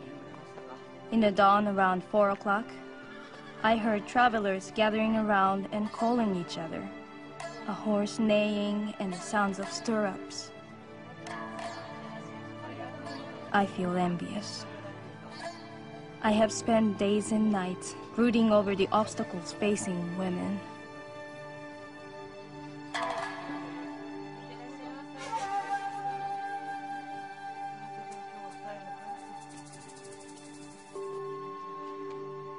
Tsujo's plight was not uncommon. Under Iemitsu's reign, anybody who did not follow his rules could be punished. But there was one group persecuted simply because of their beliefs, the Christians.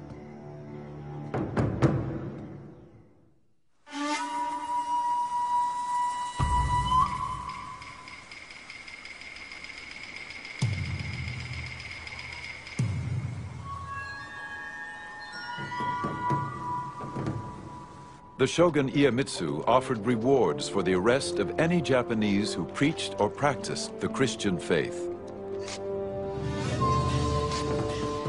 Any informer revealing the whereabouts of the followers of priests must be rewarded accordingly. If anyone reveals the whereabouts of a high-ranking priest, he must be given 100 pieces of silver.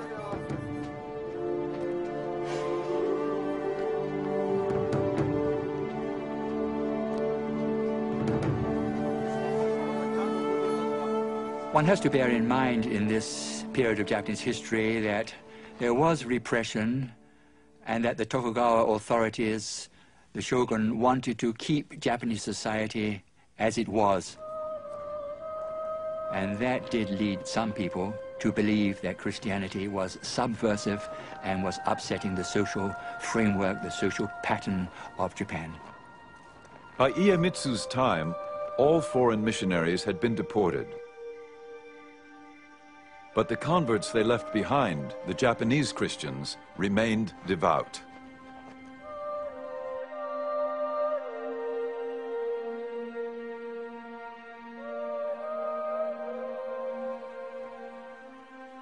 For many of the Japanese Christians, the faith ran very, very deep indeed, especially in those areas where Christianity had really set down roots for three or four generations. The shogun is a great enemy to the name of Christians.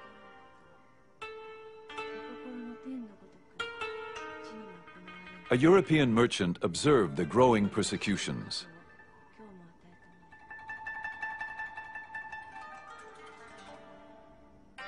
I saw 55 martyred because they would not forsake their Christian faith. And amongst them there were little children of five or six years old, burned in their mother's arms, crying out, Jesus, receive their souls.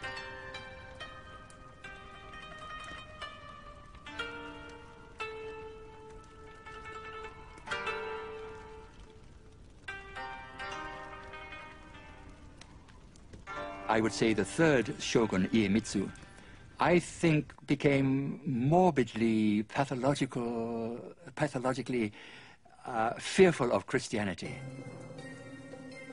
They thought that this was a threat to our power.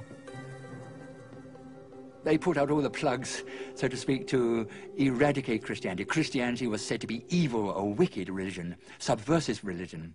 And so that is why they took such extreme steps to eliminate the religion.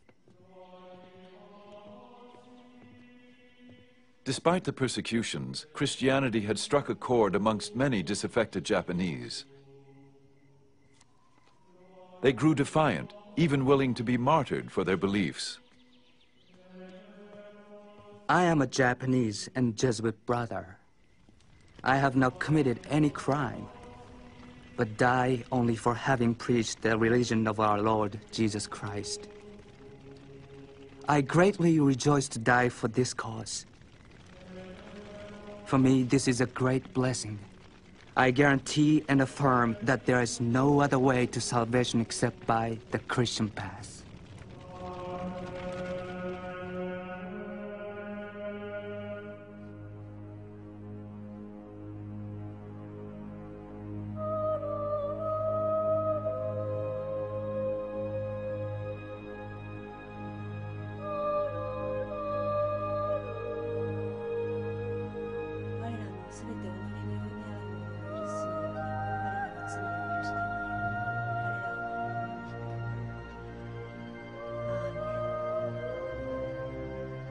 Iemitsu was increasingly disturbed by the Christian situation, especially in the south, where a large number lived.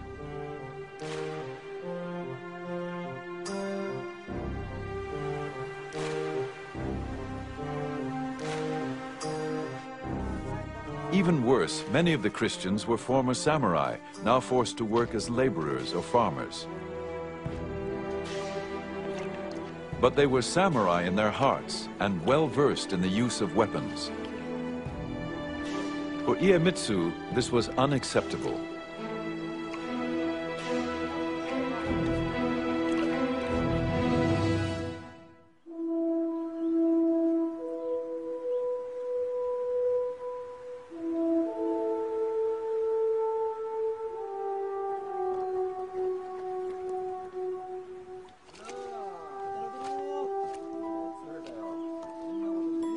Shogun's iron hand extended to every detail of a peasant's life.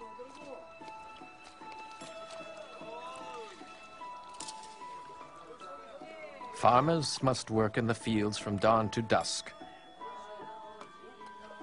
Wives and daughters must make meals three times a day, put on red headbands, and take the meals to the fields. Once men are home after dusk, Sisters-in-law and female cousins must put the chap feet of the man on the stomach of his wife and massage them.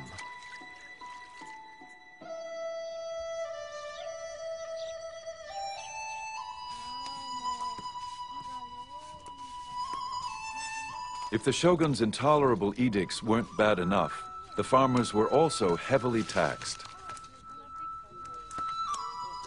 There were taxes on windows and shelves, a head tax on each newborn child, and a whole tax to bury the dead. The farmers were taxed in rice, the currency of the day.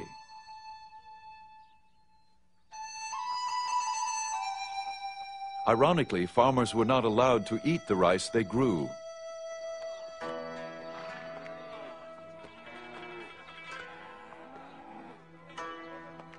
These taxes were collected by the daimyo to finance their elaborate processions to Edo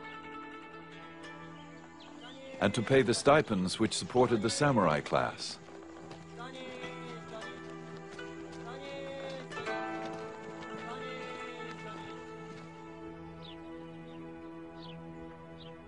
The farmers were in dire straits, as a Japanese writer lamented. Year by year, the farmers grew more exhausted. How could they sustain life itself under those circumstances?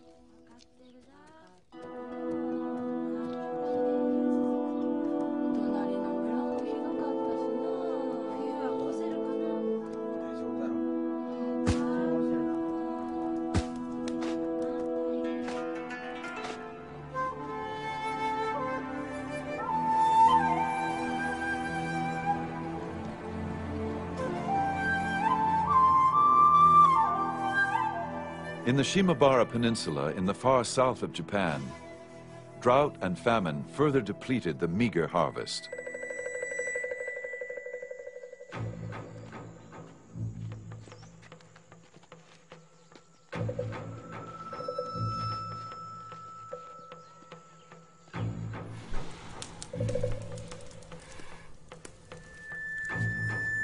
Those who could not pay the taxes were punished severely. In mid-December 1637, a single event ignited the long smoldering fuse.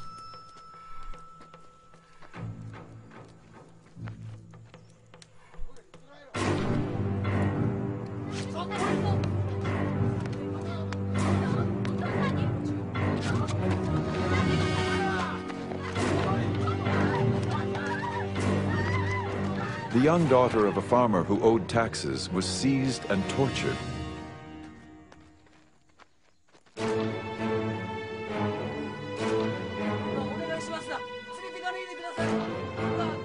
Furious with grief, the father and his friends killed the local governor, and the whole village, samurai, peasants, and Christians, rose in revolt.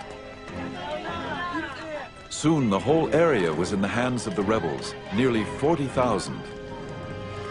So what began as a social upheaval, a social revolt against the tremendously harsh taxation against the peasants, leaving the peasants almost starving, what began as that somehow developed into a Christian rebellion. A European merchant reported on the rebellion. A few days after the outbreak, the Christians joined the farmers. They cry out throughout the whole country that the time had now come to revenge the innocent blood of so many Christians and priests, and that they are prepared to die for their faith. The rebels swarmed into an abandoned castle surrounded on three sides by the sea. Feeling protected, they brought in their wives and children and barricaded themselves inside.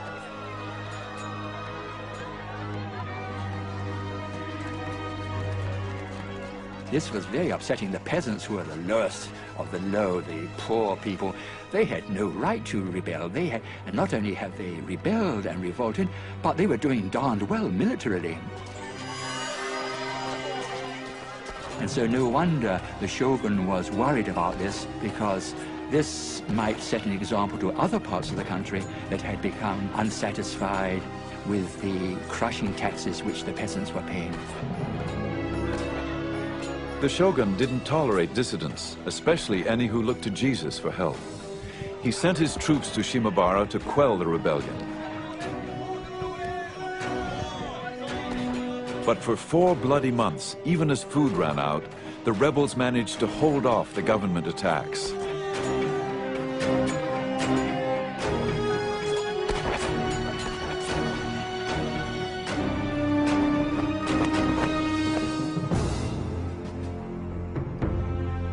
The shogun was so incensed at the continuing rebellion that he asked the Dutch to send a ship with cannons against the besieged castle. The Dutch were reluctant to take part in this campaign, but Nevertheless, they desperately wanted to hold on to this toehold which they had in trade with Japan. And so if they didn't obey the order of the shogun, he might well say, well, okay, you can pack up and go home. The shogun ordered the castle set ablaze. Still, the rebels fought back. But in the end, their fate was sealed. And the castle fell finally through starvation. And then followed a dreadful slaughter.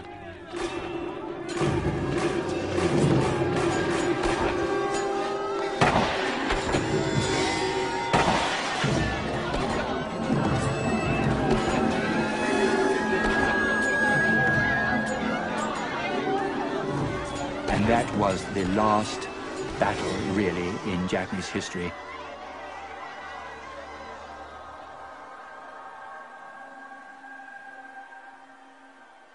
The Shimabara Rebellion was the excuse the shogun needed to finally eradicate Christianity from Japan.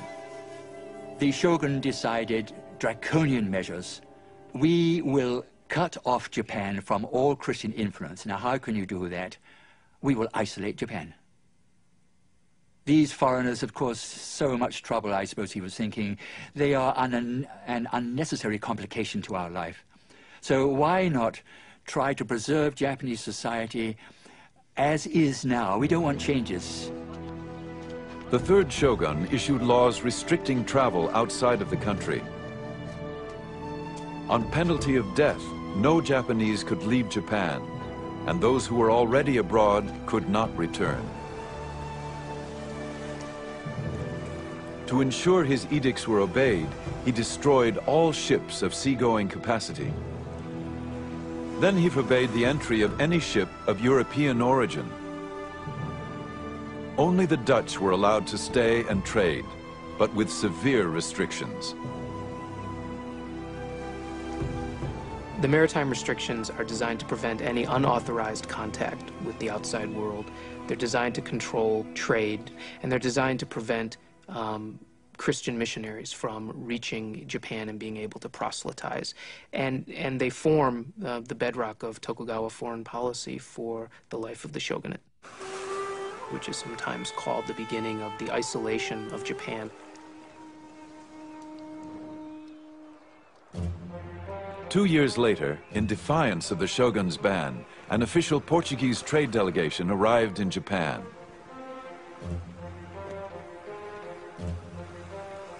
The shogun showed no mercy and ordered the execution of 57 of those aboard, ambassadors and their crew. He ordered the ship burned. The few survivors were sent back with this warning. A similar penalty will be suffered by all who come to these shores from Portugal, whether they be ambassadors or sailors, whether they come by error or driven by storm. Even more, if the King of Portugal, or even the God of the Christians were to come, they would all pay the very same penalty.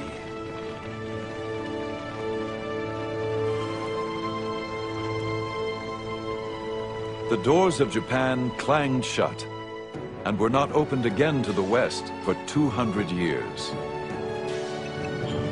The will of the shogun had prevailed. But many wondered how this isolated empire would survive in a rapidly changing world.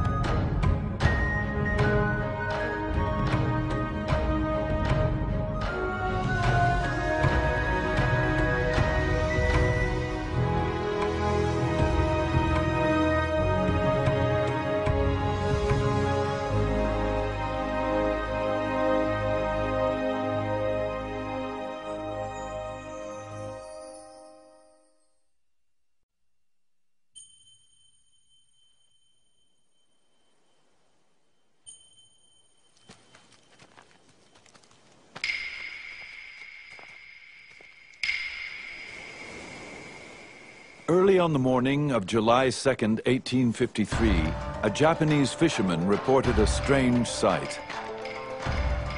I was told there were ships on fire. I ran up the mountain to get a good look. The ships came nearer and nearer until the shape of them showed us they were not Japanese ships, but foreign.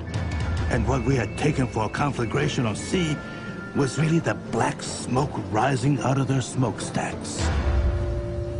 Steamships, like most Western innovations, were unknown in Japan.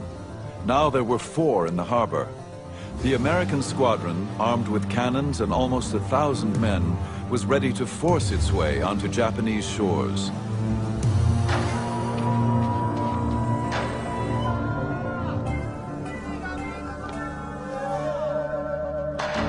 Japan was a land shrouded in mystery, a warrior society ruled by the powerful Tokugawa shogunate. They had successfully kept the West at bay for over 200 years. But now the Western powers demanded entry. Could the samurai nation repel the industrial might of a determined West? These are the memoirs of Japan's secret empire.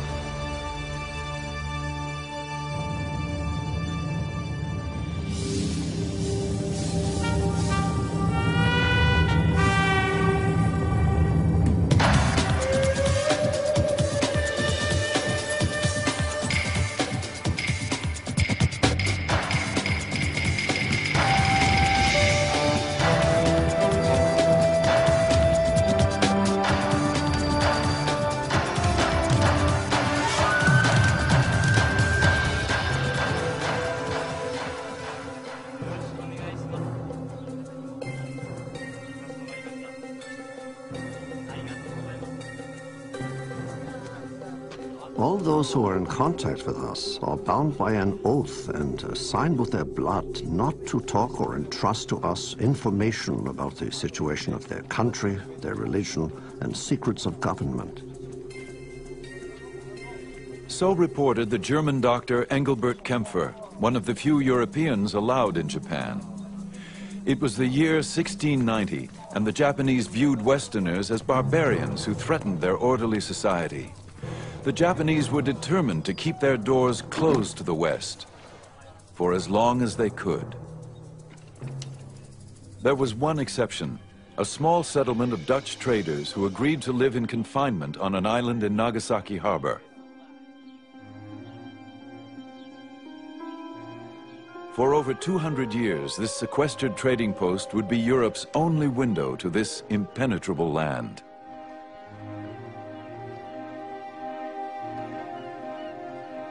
The Dutch East Indies Company sent Dr. Kaempfer to provide medical care for the Dutch community. He was also asked to gather information about the everyday life of the Japanese. It would not be an easy task.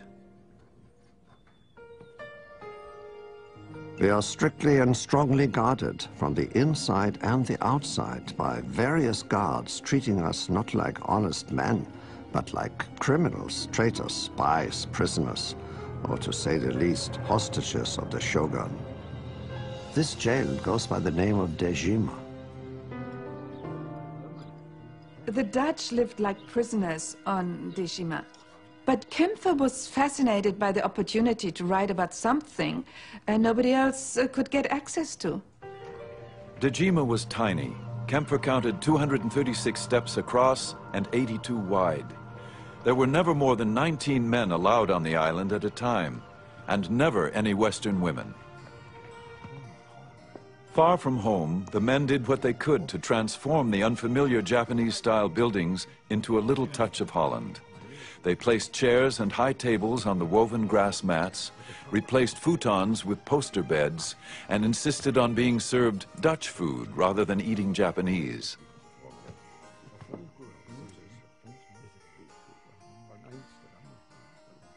No Japanese, except for prostitutes, were allowed unsupervised contact with the Dutch.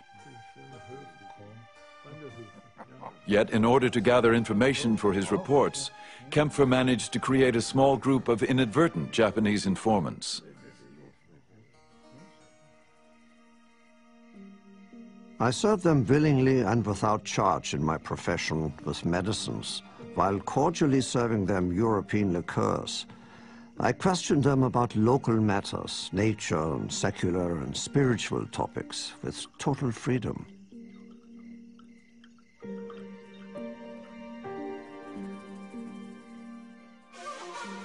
The Japanese were as inquisitive as Kaempfer.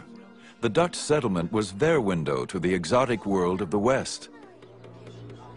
But the trickle of information that arrived from overseas was carefully guarded. Every time a uh, Dutch ship arrived, the Dutch ship would have the latest news from Europe, and that news would be given to the Dutch authorities in Nagasaki, and then that news would be translated into Japanese and rushed immediately to the headquarters of the shogun. The ruler of Japan, the shogun, hungered for news of the outside world. He commanded the Westerners to present themselves at his castle once a year. The only time Kaempfer really saw Japan was when he traveled from Nagasaki to Edo, which was the shogun's capital.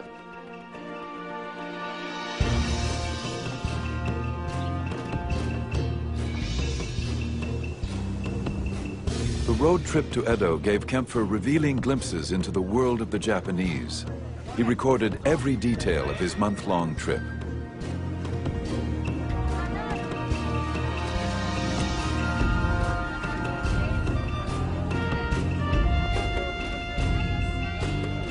We receive many of the honors that are generally shown to the provincial lords. The roads are swept with brooms and water to keep the dust down. In the houses bordering the road, people kneel behind the blinds, watching our procession in profound silence.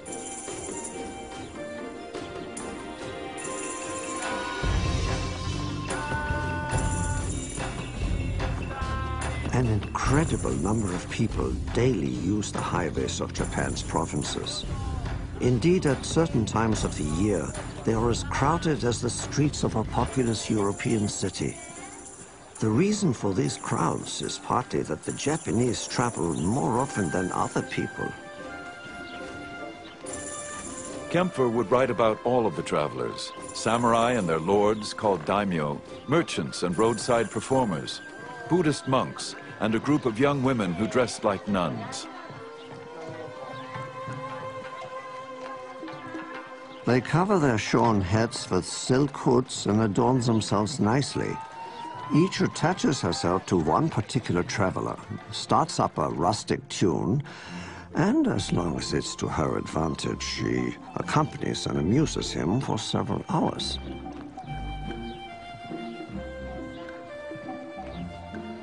As the road traffic grew, so did the number of merchants who catered to the travelers' needs.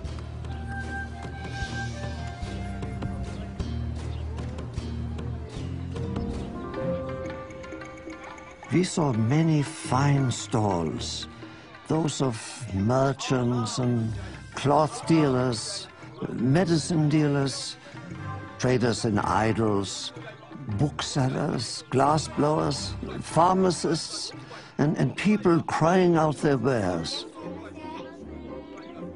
There are countless humble inns, roadside food stalls, sake or beer taverns, uh, cake and sweet stalls along our road.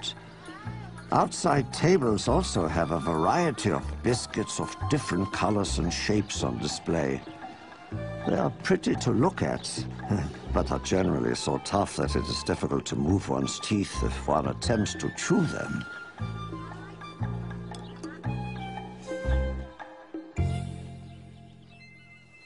Tradesmen, once considered social parasites, were beginning to improve their position in Japanese society. Successful street peddlers became roadside merchants, who would eventually build bigger stores and even move to the cities. Kaempfer was witnessing a changing way of life in Japan that would soon shake the very foundations of this highly ordered society. The samurai weren't allowed to engage in trade, so the merchants' standard of living was rising while that of the samurai was falling, and that was just not appropriate for Tokugawa society where the samurai were the top class. The samurai were the elite ruling class, less than 10% of the population. In Tokugawa, Japan, one was born a samurai, and only a samurai had the right to carry two swords. Obligation and loyalty to one's daimyo master formed the basis of their warrior code.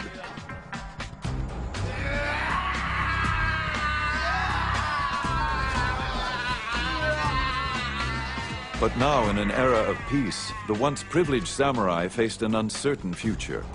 There were no wars to fight, and many daimyo found it difficult to keep a full army on staff.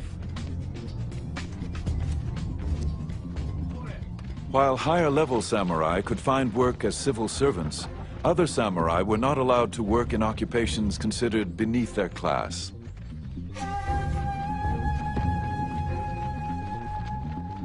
An increasing number of unemployed samurai, called ronin, wandered the countryside looking for a new master.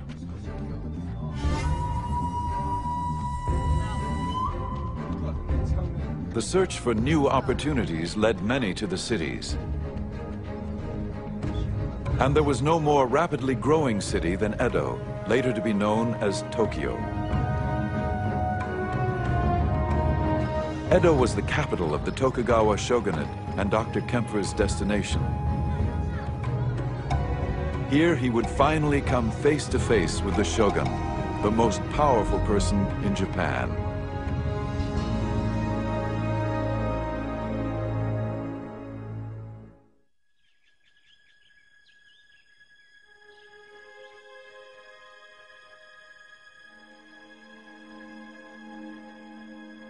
When Dr. Kaempfer arrived in Edo, he was sequestered in guarded quarters for two weeks.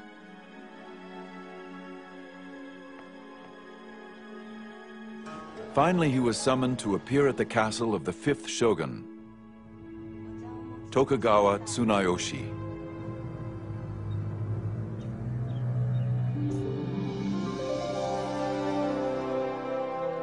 The shogun's residence is spacious with many long corridors and large rooms which can be closed off by sliding partitions.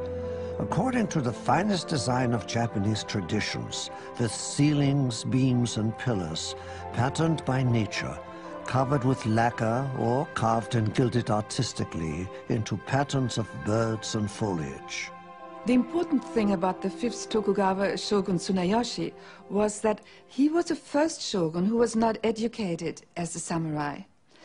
Uh, he was educated as a scholar because he was never supposed to become shogun. And so he had a, quite a different view of the world. The shogun's mother was a merchant's daughter.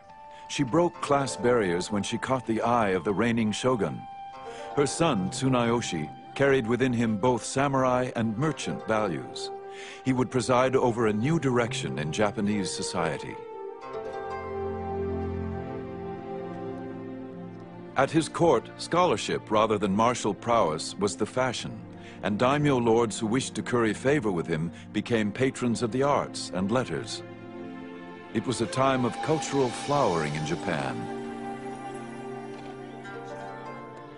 Tsunayoshi changed samurai society.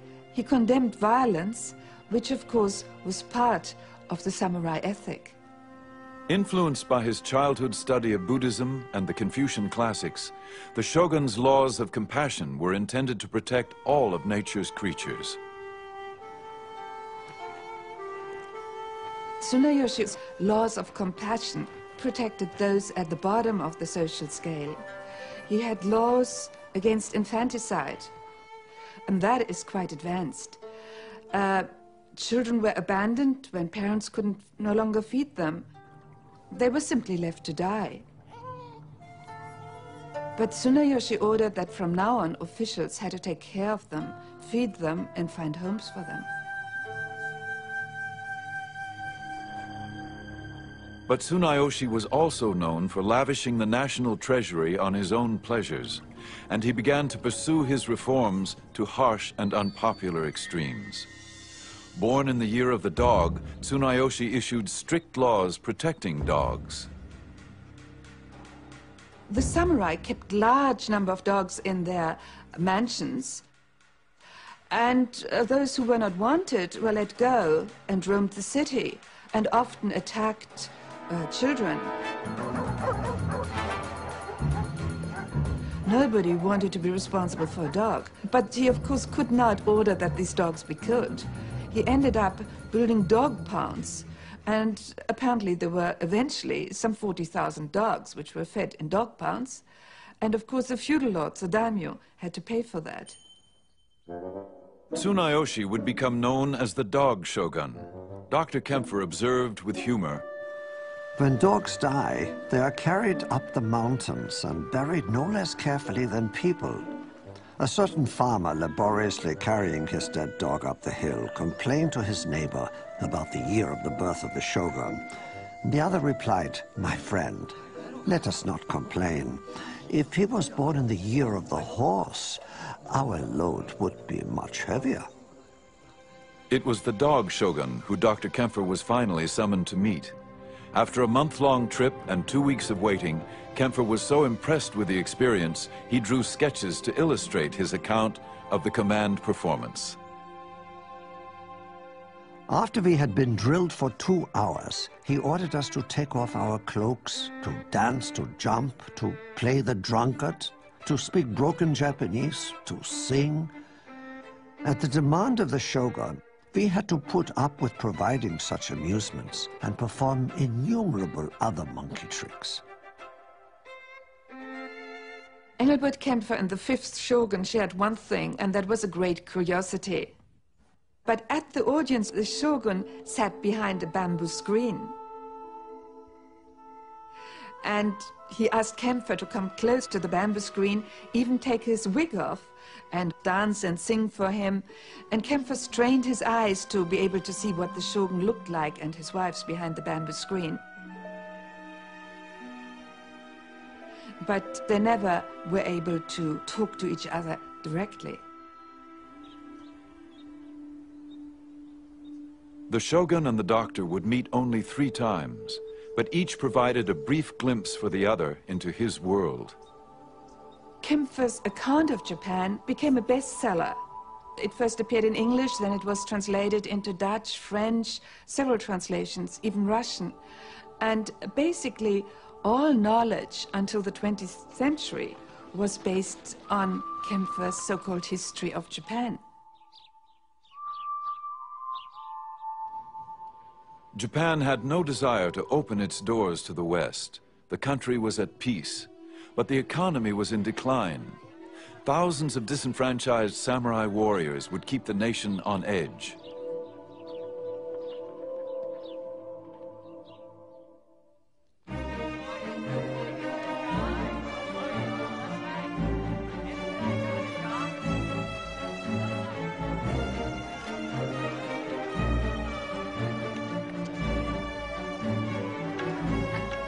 By the beginning of the 18th century, Edo was probably the largest city in the world, with over a million people.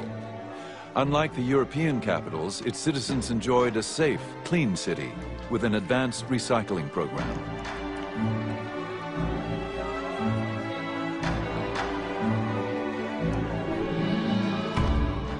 And it was prosperous beyond measure.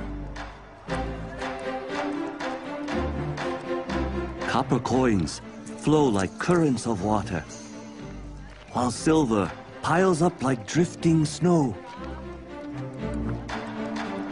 Every morning, fish are sold in such quantities that one may well wonder whether or not the supply in the seas has been exhausted.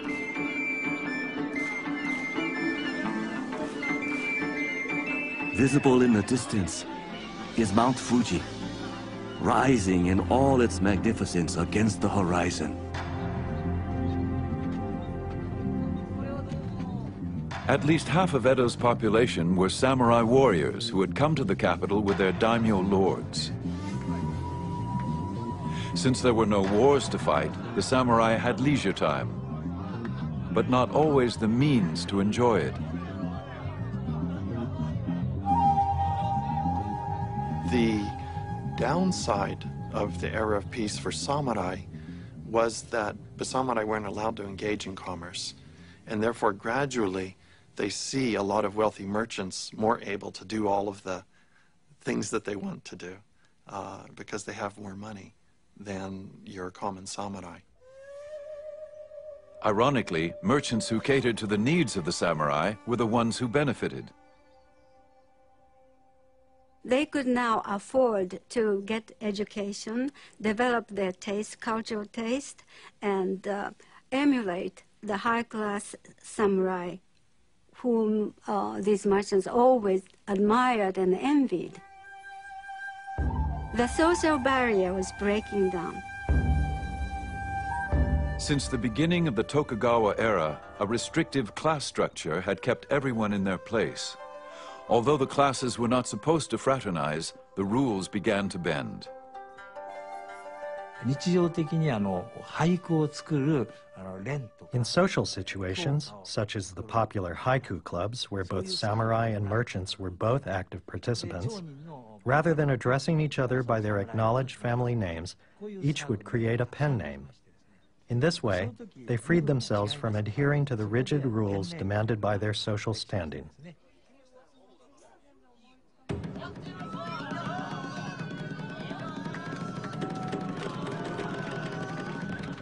Encouraged by peace and a prosperous economy, the arts and entertainment flourished. Samurai interest in education had encouraged literacy among all social groups. 85% of the male population of Edo were avid readers. In 1800, there are about 120 or more haiku poetry circles. And also there are about 500 bookstores and very active publishing activities. The people demanded these books and information. They want to read exciting fictions. Some of the best-selling novels of the day were written by a merchant-turned-author named Ihara Saikaku. His books celebrated the era's emerging pop culture, a totally new genre in Japanese fiction. Saikaku haunted the streets of Edo for his literary material. He knew prostitutes and daimyo, as well as beggars and merchants. And he wrote about them all with unabashed candor and ribald humor, especially the newly prosperous merchants who tried to emulate the refined samurai.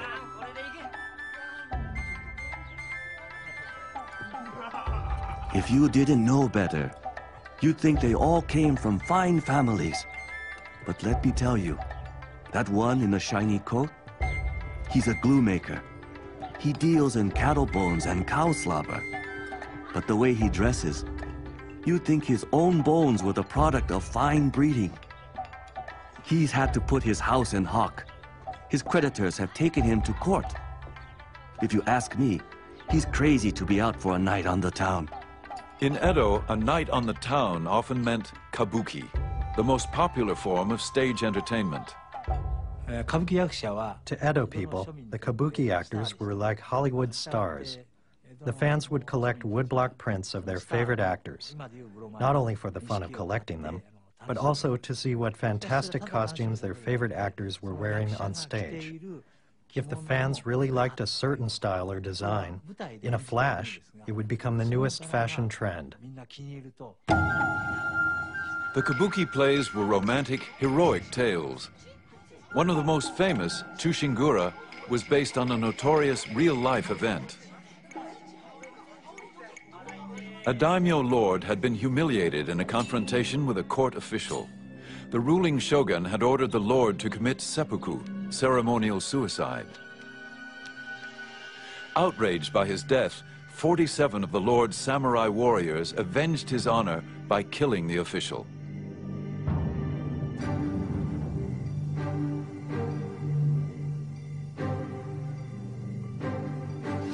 This presented the ruling shogun with a dilemma. The samurai had obeyed their code of honor, yet they had challenged the shogun's authority. The people begged for clemency, but the shogun would not yield. He ordered the samurai to commit suicide. These samurai had lived and died by their own code of honor.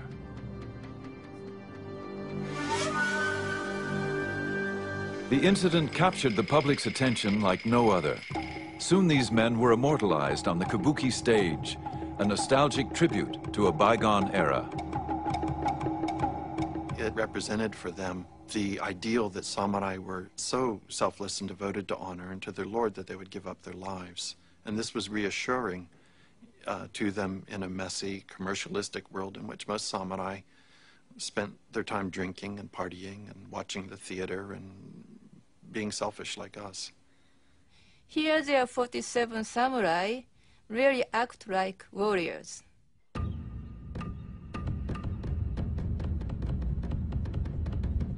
All raise a shout of acclaim. Well done, well done.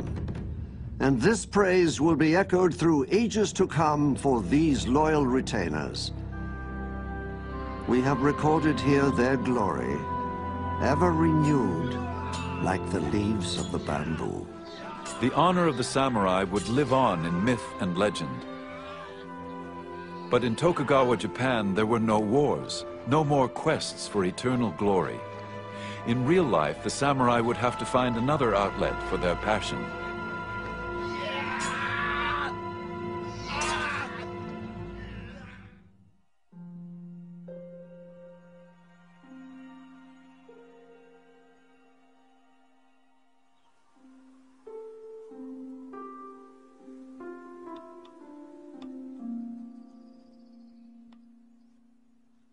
Courtesan arranges her clothing so that the red silk undergarment will flip open to reveal a flash of white skin. When men witness such a sight, they go insane and spend the money they are entrusted with, even if it means literally losing their heads the next day. But most men only gape envious of the men who can pay the courtesan's price.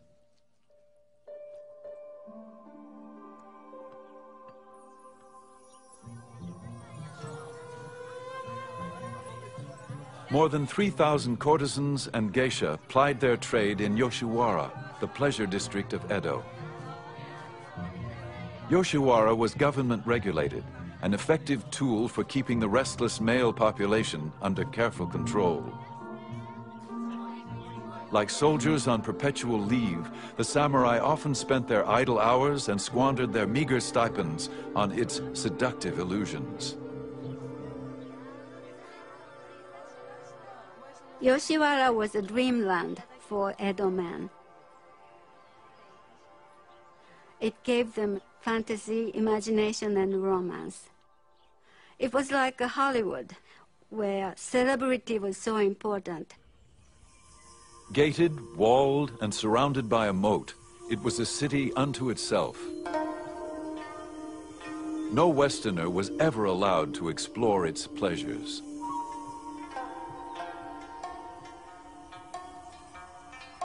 There was a distinct difference between the geisha and the courtesans. Geisha were professional entertainers. They did not rely on sex um, for entertaining men. They had their music, their singing, playing musical instruments, and dancing. Uh, whereas the courtesans um, entertained the clients with a conversation and uh, sexual gratifications.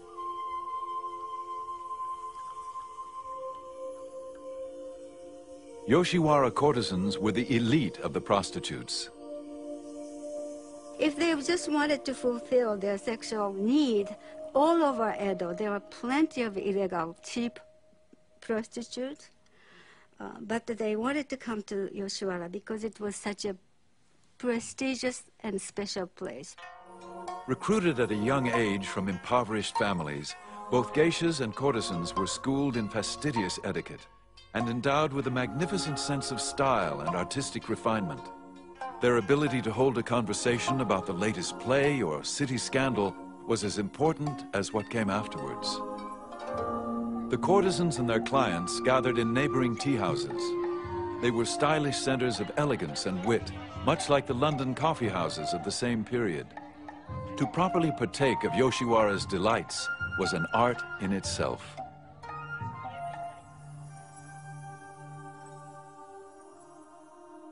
And the Yoshiwara courtesans were trained to think that they were better than their clients. And uh, if a man wanted to visit Yoshiwara, he had to prepare for it six months in prior. He had to buy a fine set of sword. He had to think about what to wear because he wouldn't just go there. The courtesan had the right to turn down her client if she didn't like him, even if he could afford to pay for her. Therefore, he wanted to make a good impression on the courtesan. And then once he's committed to her, he had no right to see other women. And if he, uh, on the sly, went to see any other person, uh, the courtesan's entourage had every right to punish him. His hair would be cut off, he would be made to wear woman's red kimono, and he would be taunted by everyone. Yoshiwara nurtured its own unique customs, art, fashion, and language. It was a world seemingly set adrift from the harsh realities of life.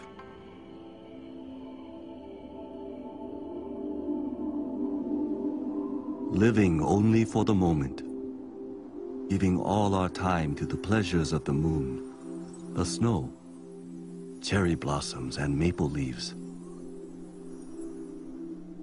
singing songs, drinking sake, caressing each other, just drifting, drifting. Never give a care if we had no money, refusing to be disheartened, like a gourd floating along the river current. This is what is called ukiyo, the floating world.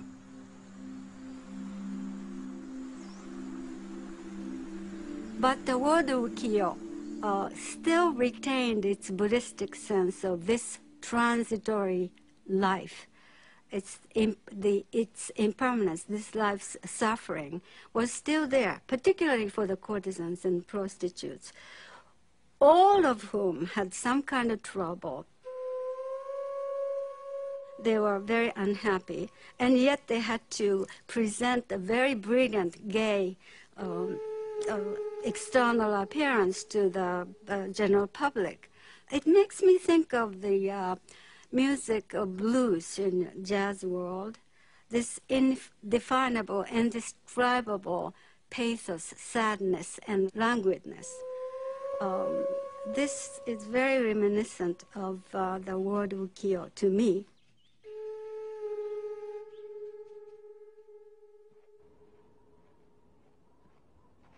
For the samurai who frequented Yoshiwara, times were changing. They continued to train daily for battle, but without a war to fight, many became aimless. Today's warriors, all they talk about is women, eating and drinking.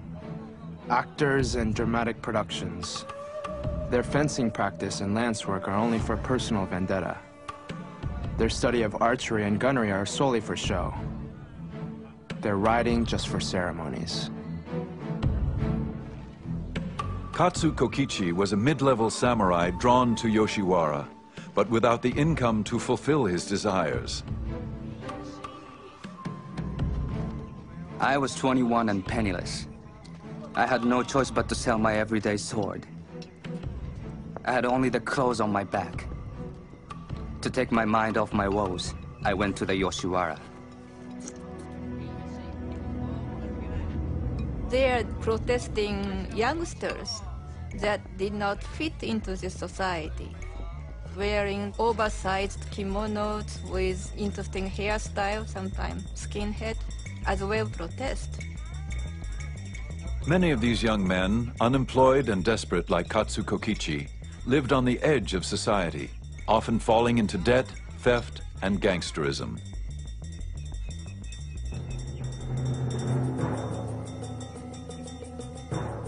When we entered the shrine precinct, a couple of sharp-looking characters sauntered to us, humming a tune. Without warning, my body spat in the face of one of the men.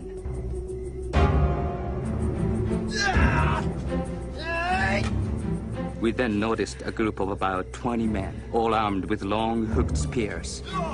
Outside the gates was a reinforcement of some 30 men with pike poles. We were four against 50.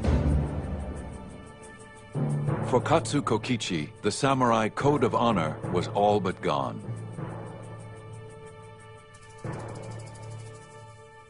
By the middle of the 18th century, the expensive delights of Yoshiwara were no longer affordable for most samurai.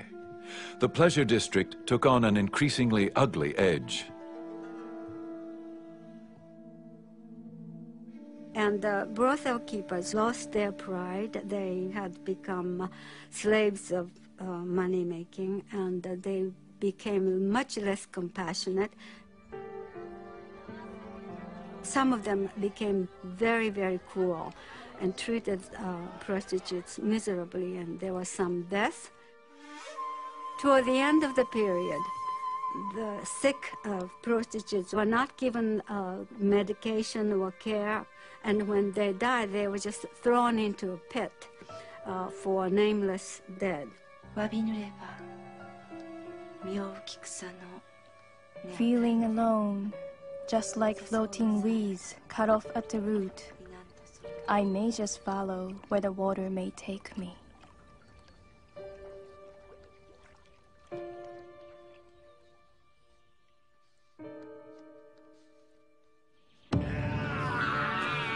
The insular world of the samurai was in decay.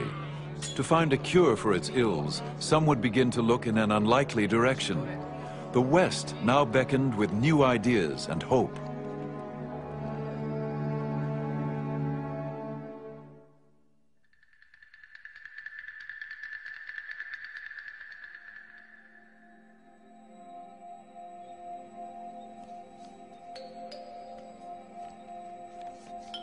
I couldn't read a word, of course, but drawings of the viscera, bones, and muscles were quite unlike anything I had previously seen.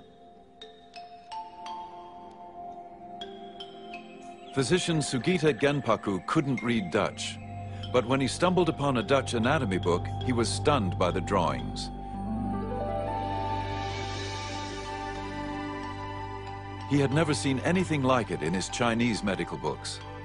In the mid-18th century, Western books, first brought clandestinely from the Netherlands, piqued the interest of many Japanese scientists and doctors.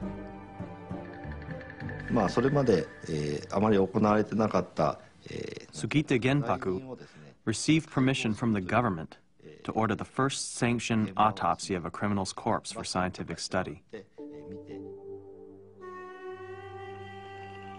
The corpse of the criminal was that of an old woman of about 50 years.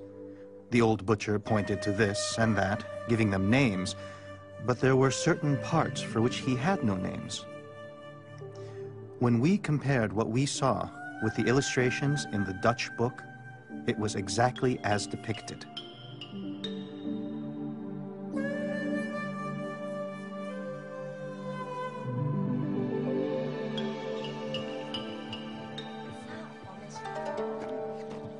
Dr. Sugita and his friends reflected on how shameful it was that they had tried to treat their patients without a true knowledge of the human body. He vowed to learn more. He taught himself Dutch so he could translate the book.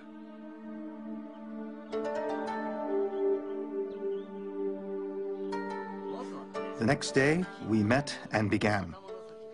Gradually, we got so we could decipher 10 lines or more a day. After two or three years of hard study, everything became clear to us. The joy of it was as the chewing of sweet sugar cane.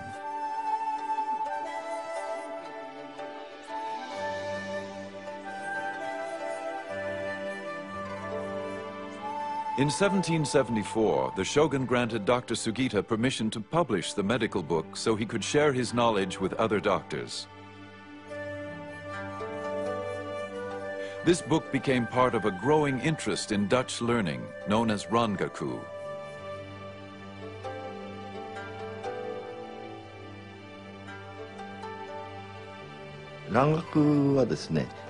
Originally, Rangaku had to do with medical studies.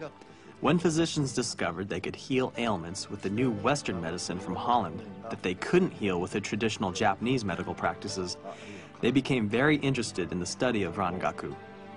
Gradually, as knowledge of the Dutch language became more widespread, other aspects of Rangaku, such as astronomy, science, and chemistry, were introduced to Japan.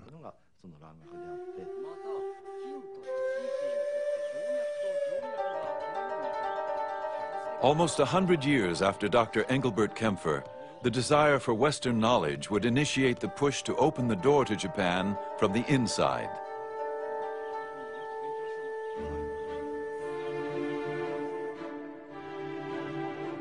And yet, as attractive as Western knowledge was to some Japanese intellectuals, there were others who believed that anything Western still threatened Japanese society. One source of harm that has appeared of late is Dutch studies. These students have been taken in by the weakness of some for novel gadgets and rare medicines which delight the eye and enthrall the heart. If someday the treacherous foreigner should take advantage of the situation and lure ignorant people to his ways. Our people will adopt such practices as eating dogs and sheep, and no one will be able to stop it. It is like nurturing barbarians within our own country.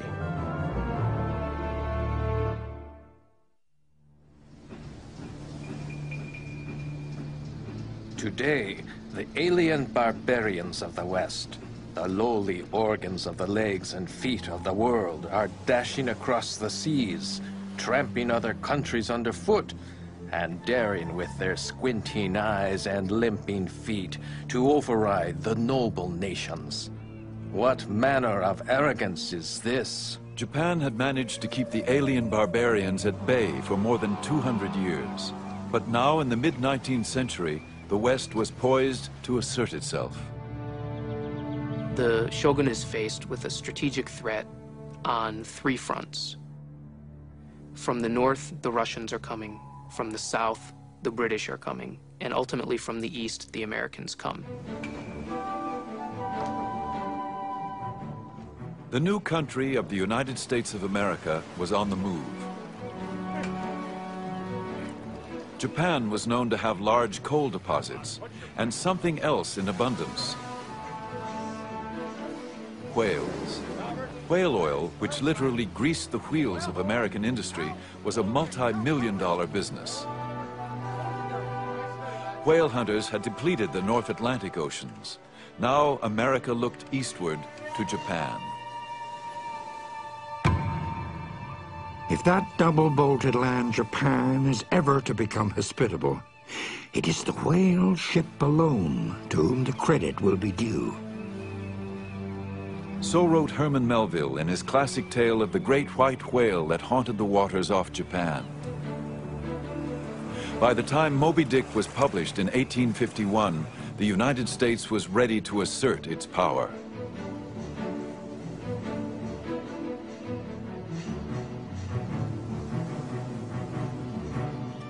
Japan's leaders were aware of the growing push towards their shores the shogunate had been preparing for the arrival of the West for decades. They had set up a special translation bureau, which was gathering information about the West, translating atlases, translating dictionaries, developing a set of foreign affairs specialists. Key advisors warned of an imminent foreign threat. They urged the shogun to bolster his defenses. We should build warships, then if barbarians come to our sea, we should shoot every single one of them.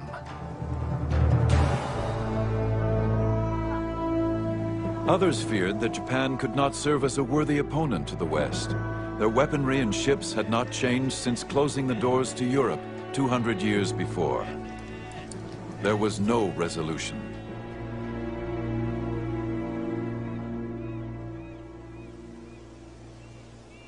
Then, early in the morning on July 2, 1853, a local fisherman reported this strange sight. I was told there were ships on fire. I ran up to the mountain to get a good look. The ships came nearer and nearer until the shape of them showed us they were not Japanese ships, but foreign. And what we had taken for a conflagration on sea was really the black smoke rising out of their smokestacks.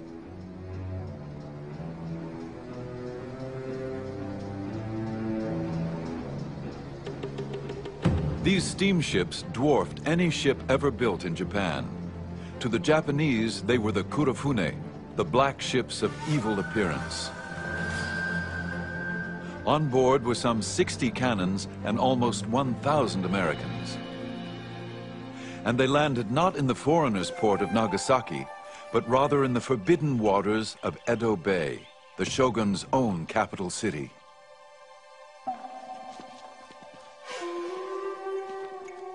Upon hearing the news, the shogun immediately fell ill. Many said from the shock of hearing that a foreign naval squadron was at his doorstep. His advisors tried to deal with the crisis.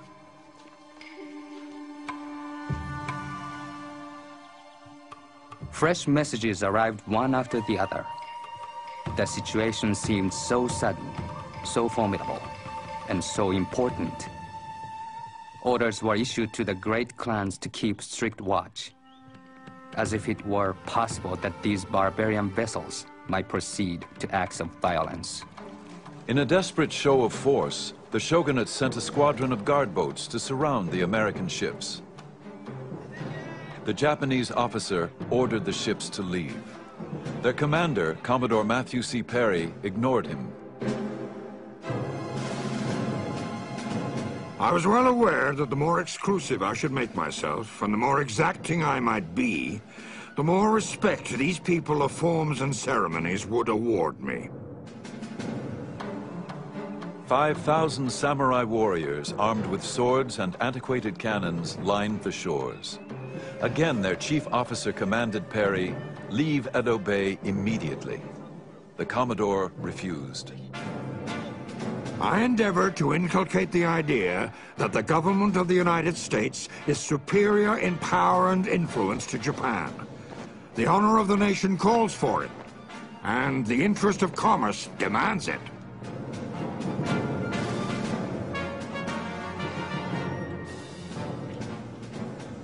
The Japanese on shore watched as Perry's crews readied for action.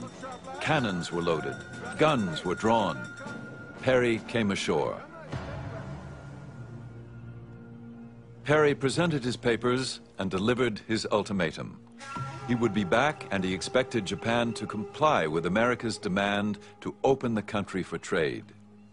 If not, he was prepared to take Japan by force. He would return in the spring for his answer. Then he and his squadron left Edo Bay. Their deportment and manner of expressions were exceedingly arrogant, and the resulting insult to our national dignity was not small. Those who heard could but gnash their teeth and suffer this insult in silence. After the barbarians had retired, a certain person drew his sword and slashed to bits a portrait of their leader, Perry. There was great fear of Perry. There were uh, the, the portraits of Perry as a devil. There were the portraits of his ships belching fire. All of this served to, to whip up you know, near hysteria on the part of, of portions of the Japanese populace. At the same time, there's fascination. There's fascination with Perry. There's fascination with these ships, these enormous ships that hadn't been seen before. There's fascination with the technological prowess of the Americans. To complicate matters, the shogun had died, and the new shogun was mentally unfit. His advisors took charge, but they could not reach agreement. The head of the shogunate decides that he is going to poll all of the daimyo in Japan what should the shogunate do? Uh, this is a radical break with tradition. The, the authority of the shogunate is to deal with foreign relations. The title of the shogun, of course, is the great barbarian quelling generalissimo. And yet here is the head of the shogunate asking the daimyo what he should do. Two positions are staked out. One being known as the open the country argument. The Americans do not understand the ethics of humanity and justice. There will be no choice but to start trade with them. The other side being revere the emperor and expel the barbarian. The Americans have come to seize Japan. Therefore, if we don't drive them away now, the other foreign powers will follow. We are in a dangerous situation. While the debate raged, the shogunate remained indecisive. The end of the year was filled with half-hearted compromises and inadequate attempts at coastal defense.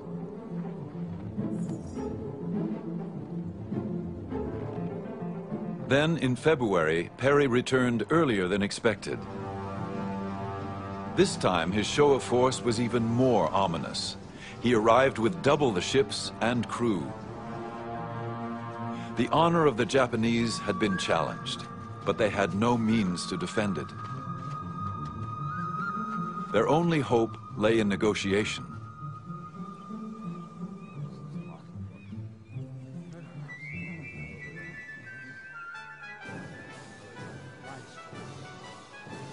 As soon as Perry came ashore, the talks began.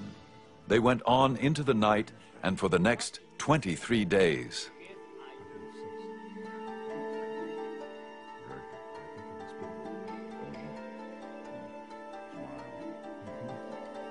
In the end, the treaty was a compromise, which served both countries' interests.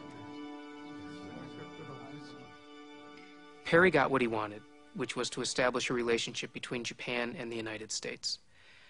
The shogunate got what it wanted in not surrendering its control over foreign relations and opening Japan up to unregulated trade. I'm not sure that the shogunate has been given enough credit for choosing peace over war. And you can say that the, that the shogunate chose to open up relations with America and the West out of weakness, but it didn't have to. The shogunate took the practical decision, and they chose peace and thereby preserved the integrity and territorial sovereignty of their country. Before signing the treaty with Perry, the shogun arranged a social evening, a prerequisite for conducting business in Japan that continues to this day. Sumo wrestlers displayed their strength. The first one invited Perry to punch him in the stomach. Another wrestler hoisted two huge bags of rice over his head to show his strength. Perry offered champagne and whiskey. He gave the Japanese gifts. Among those of particular interest, a telegraph, a camera, and a quarter-scale steam railroad, unlike anything the Japanese had ever seen. Japanese engineers would quickly make plans to replicate them.